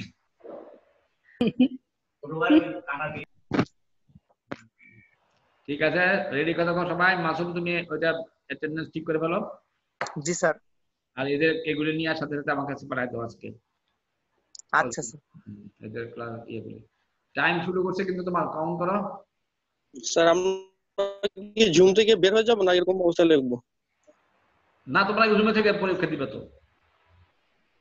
Okay sir sir? জি। স্যার আমাদের মিড পরীক্ষা কি মানে কীভাবে হতে পারে? এটা আমি জানি না তো আগে তো কইতেছি আমি এখন অসুবিধা আমি কইতে সিদ্ধান্ত হোক না মাত্র শুরু হয়েছে। স্যার এই অনলাইনে পরীক্ষা নিয়ে স্যার খুব টেনশন এত টেনশন করার কোনো কারণ নাই আমরা তো তোমাকে টেনশন দিতেছি এমনি। স্যার স্যার আমি স্যার ওই যে আপনাকে যে বলছিলাম স্যার টাকা জমা দিব স্যার আমি টাকা জমা দিছি স্যার বাইশ তারিখে আচ্ছা শোনো ভাই তোমরা ক্লাসের ছাত্রছাত্রী তোমরা দয়া করে যদি আমি বলতেছি না টাকা পয়সা বলা দেওয়া আমার কষ্ট লাগে লজ্জাও লাগে তোমাদের কাছে। তোমরা ইউনিভার্সিটিকে দিয়ে দাও তোমাদের জন্য আগায় নিচ্ছি আমি আগে বলছি। যে যতটুকু পারো তা দিয়ে দাও আমাদের একটু আমাদের উপর প্রেশার দিয়েছে তো একটু রিকোয়েস্ট করছি প্রেশার না। আমাদের কাছে স্যার, আপনারা একটু যদি হাইলাইট করেন আপনারা স্যার তো ছাত্র মানুষ বুঝে সবাই তো সমস্যা আছে, আমরা জানি। তোমাদের সমস্যা আছে, আমাদের সমস্যা আছে, সামাজিক সমস্যা আছে, রাষ্ট্রের সমস্যা হচ্ছে, সবাই। এর ভিতর থেকে তোমাদের যেহেতু আমরা আগায় যাচ্ছি যতটুকু পারো দিয়ে দাও। ভেরি গুড যা দিছো বাকিরাও দিলে ভালো। স্যার স্যার, স্যার আমি অর্ধেকের বেশি দিছি। স্যার বাইশ তারিখে টাকা দিছি স্যার কিন্তু এখনও স্যার আমার ইউকেএম এর ভিতরে বিলে স্যার টাকা জমা দেখাচ্ছে না তুমি স্যার একটু হেডকে নোট করে দিও তাহলে ঠিক নেই। বাহ, জি স্যার আমি স্যার কালকে অ্যাকাউন্টসে যে আলমগীর স্যার আছে ওনাকে কল দিছিলাম উনি ওনাকে একটা স্ক্রিনশট দিয়ে মেল করতে বলছিল স্যার আমি স্যার ওনাকে মেইলও করছি কিন্তু আজকেও স্যার জমা দেখাচ্ছে না স্যার ও আজকে তো বন্ধ তো শুক্রবার। আচ্ছা তুমি কালকে তুমি খোঁজ করো তুমি বলে দাও বা বলে তোমার ঠিক করে নিবে। জি স্যার। জি স্যার সালাম আলাইকুম স্যার। না ওয়ালাইকুম সালাম তোমাদের চিন্তার কোনো কারণে যতটুকু পারো পে টেক করে ফেললে আমাদের সিভিল ইঞ্জিনিয়ারিং এর জন্য আমরা ভালো। আর ছাত্র আনো নতুন ছাত্র কই? ছাত্রটা তার মানে নতুন ছাত্রদেরকে নিয়ে এসো স্যার একজন স্যার ভর্তি করাইছি তো স্যার অনলাইনে আমি। ওই কি ডে নাকি ইভিনিং এ স্যার ইভিনিং এ স্যার। কবে? স্যার এই যে দুই তিন দিন হয়েছে স্যার। গুড ভর্তি করে ফেলো। আরে আর টাকা নিয়ে দাও তুমি তো তুমি টাকা পাইবে এক হাজার টাকা ছাত্র হাতে স্যার আমাদের লাস্ট সেমিস্টারের টাকাই তো দেয় না এই সেমিস্টারের টাকা স্যার লাস্ট সেমিস্টারে স্যার অনেকজনকে ভর্তি করছি স্যার ওই টাকা দেয় নাই স্যার। সব পাইবা আমি না পেলে আমার কাছে কইবা তুমি খালি রেকর্ড রাখবা। জি স্যার। স্যার। টাকা নিয়ে আসো ভর্তি না হলে তো শোনো এখানে তোমাদের এটা সিস্টেম এখানে তোমাকে না দিয়ে ওখানে বলে দিবা তোমার রেফারেন্সের নাম লিখে রাখবে বাস। দুইটা জিনিস করবা আমাদের আমরা এটা নিয়ে সবাই প্রশ্ন করে, আমি এক কথা না। যতক্ষণ না দেওয়া করব তখন করব না। তবে একটা কথা বলে রাখতে পারি ইনশাআল্লাহ। করোনা ভাইরাস না হলে এতদিন তোমাদের অ্যাপ্লিকেশন কবে গেল ভিজিটও আইসে করতে পারবে আইবিও বন্ধ, সবই বন্ধ। আমরা তবু চেষ্টা করছি দুই সপ্তাহের ভিতরে আমরা জমা দিয়ে দেবো। আমরা এগুলি আলোচনা করতে চাই যতক্ষণ না পর্যন্ত জমা দিব ততক্ষণ আমরা ডিসকাস করব আশা করি হয়ে যাবে। ইনশাআল্লাহ দোয়া করো স্যার আমাদের একটা স্যার অ্যাপ্লিকেশন গেছিল স্যার ওই যে আমাদের যে মানে ল্যাব ব্যবহার করতেছি না ট্রান্সপোর্ট ব্যবহার করতেছি এটা নিয়ে আলোচনা হচ্ছে বোধ অথরিটির উপরে। ভালো করছ। তোমরা তোমাদের মাধ্যমে কোঅর্ডিনেটের মাধ্যমে জিনিসগুলি প্রক্টরের মাধ্যমে তোমরা এগুলি করো। কোনো অসুবিধা নেই। তোমাদের যা সমস্যা তোমরা প্রপার অথরিটির কাছে জানাবে বুঝছ? আমি বলছি কাকে কাকে? হেড এবং প্রক্টর স্যার ওনাদের সাথে কথা হয়েছে। সম্ভবত স্যার এটা নিয়ে মনে হয় উনত্রিশ তারিখে মিটিং কল করবে। তা জানি না আমি তোমাদের কোনো প্রমিস করতে চাই না। আননেসেসারি আমাদের আমাদের টিম আমি কোনো কথা বললে কিন্তু তোমরা আমার অনেক কিছু মনে করে নেবে এই জন্য আমি সহজে কথা বলি। যদি স্যার মিটিং হয় তাহলে স্যার আপনি যদি একটু আমাদের হ্যাঁ হ্যাঁ আমরা তো ছাত্র পক্ষ সবসময়। জি স্যার তাহলে তোমাদের যে কোনো সমস্যা ফ্রেন্ডলি হেড কোঅর্ডিনেটর এবং তিনজনকে বলব কোনো অসুবিধা নেই। ওনাদেরকে স্যার মেল করা হয়েছে অ্যাপ্লিকেশন আকারে দেওয়া হয়েছে কোনো অসুবিধা নাই। আমি জানি না এটা কি আলোচনা হয়তো আমি শুনছি হয়তো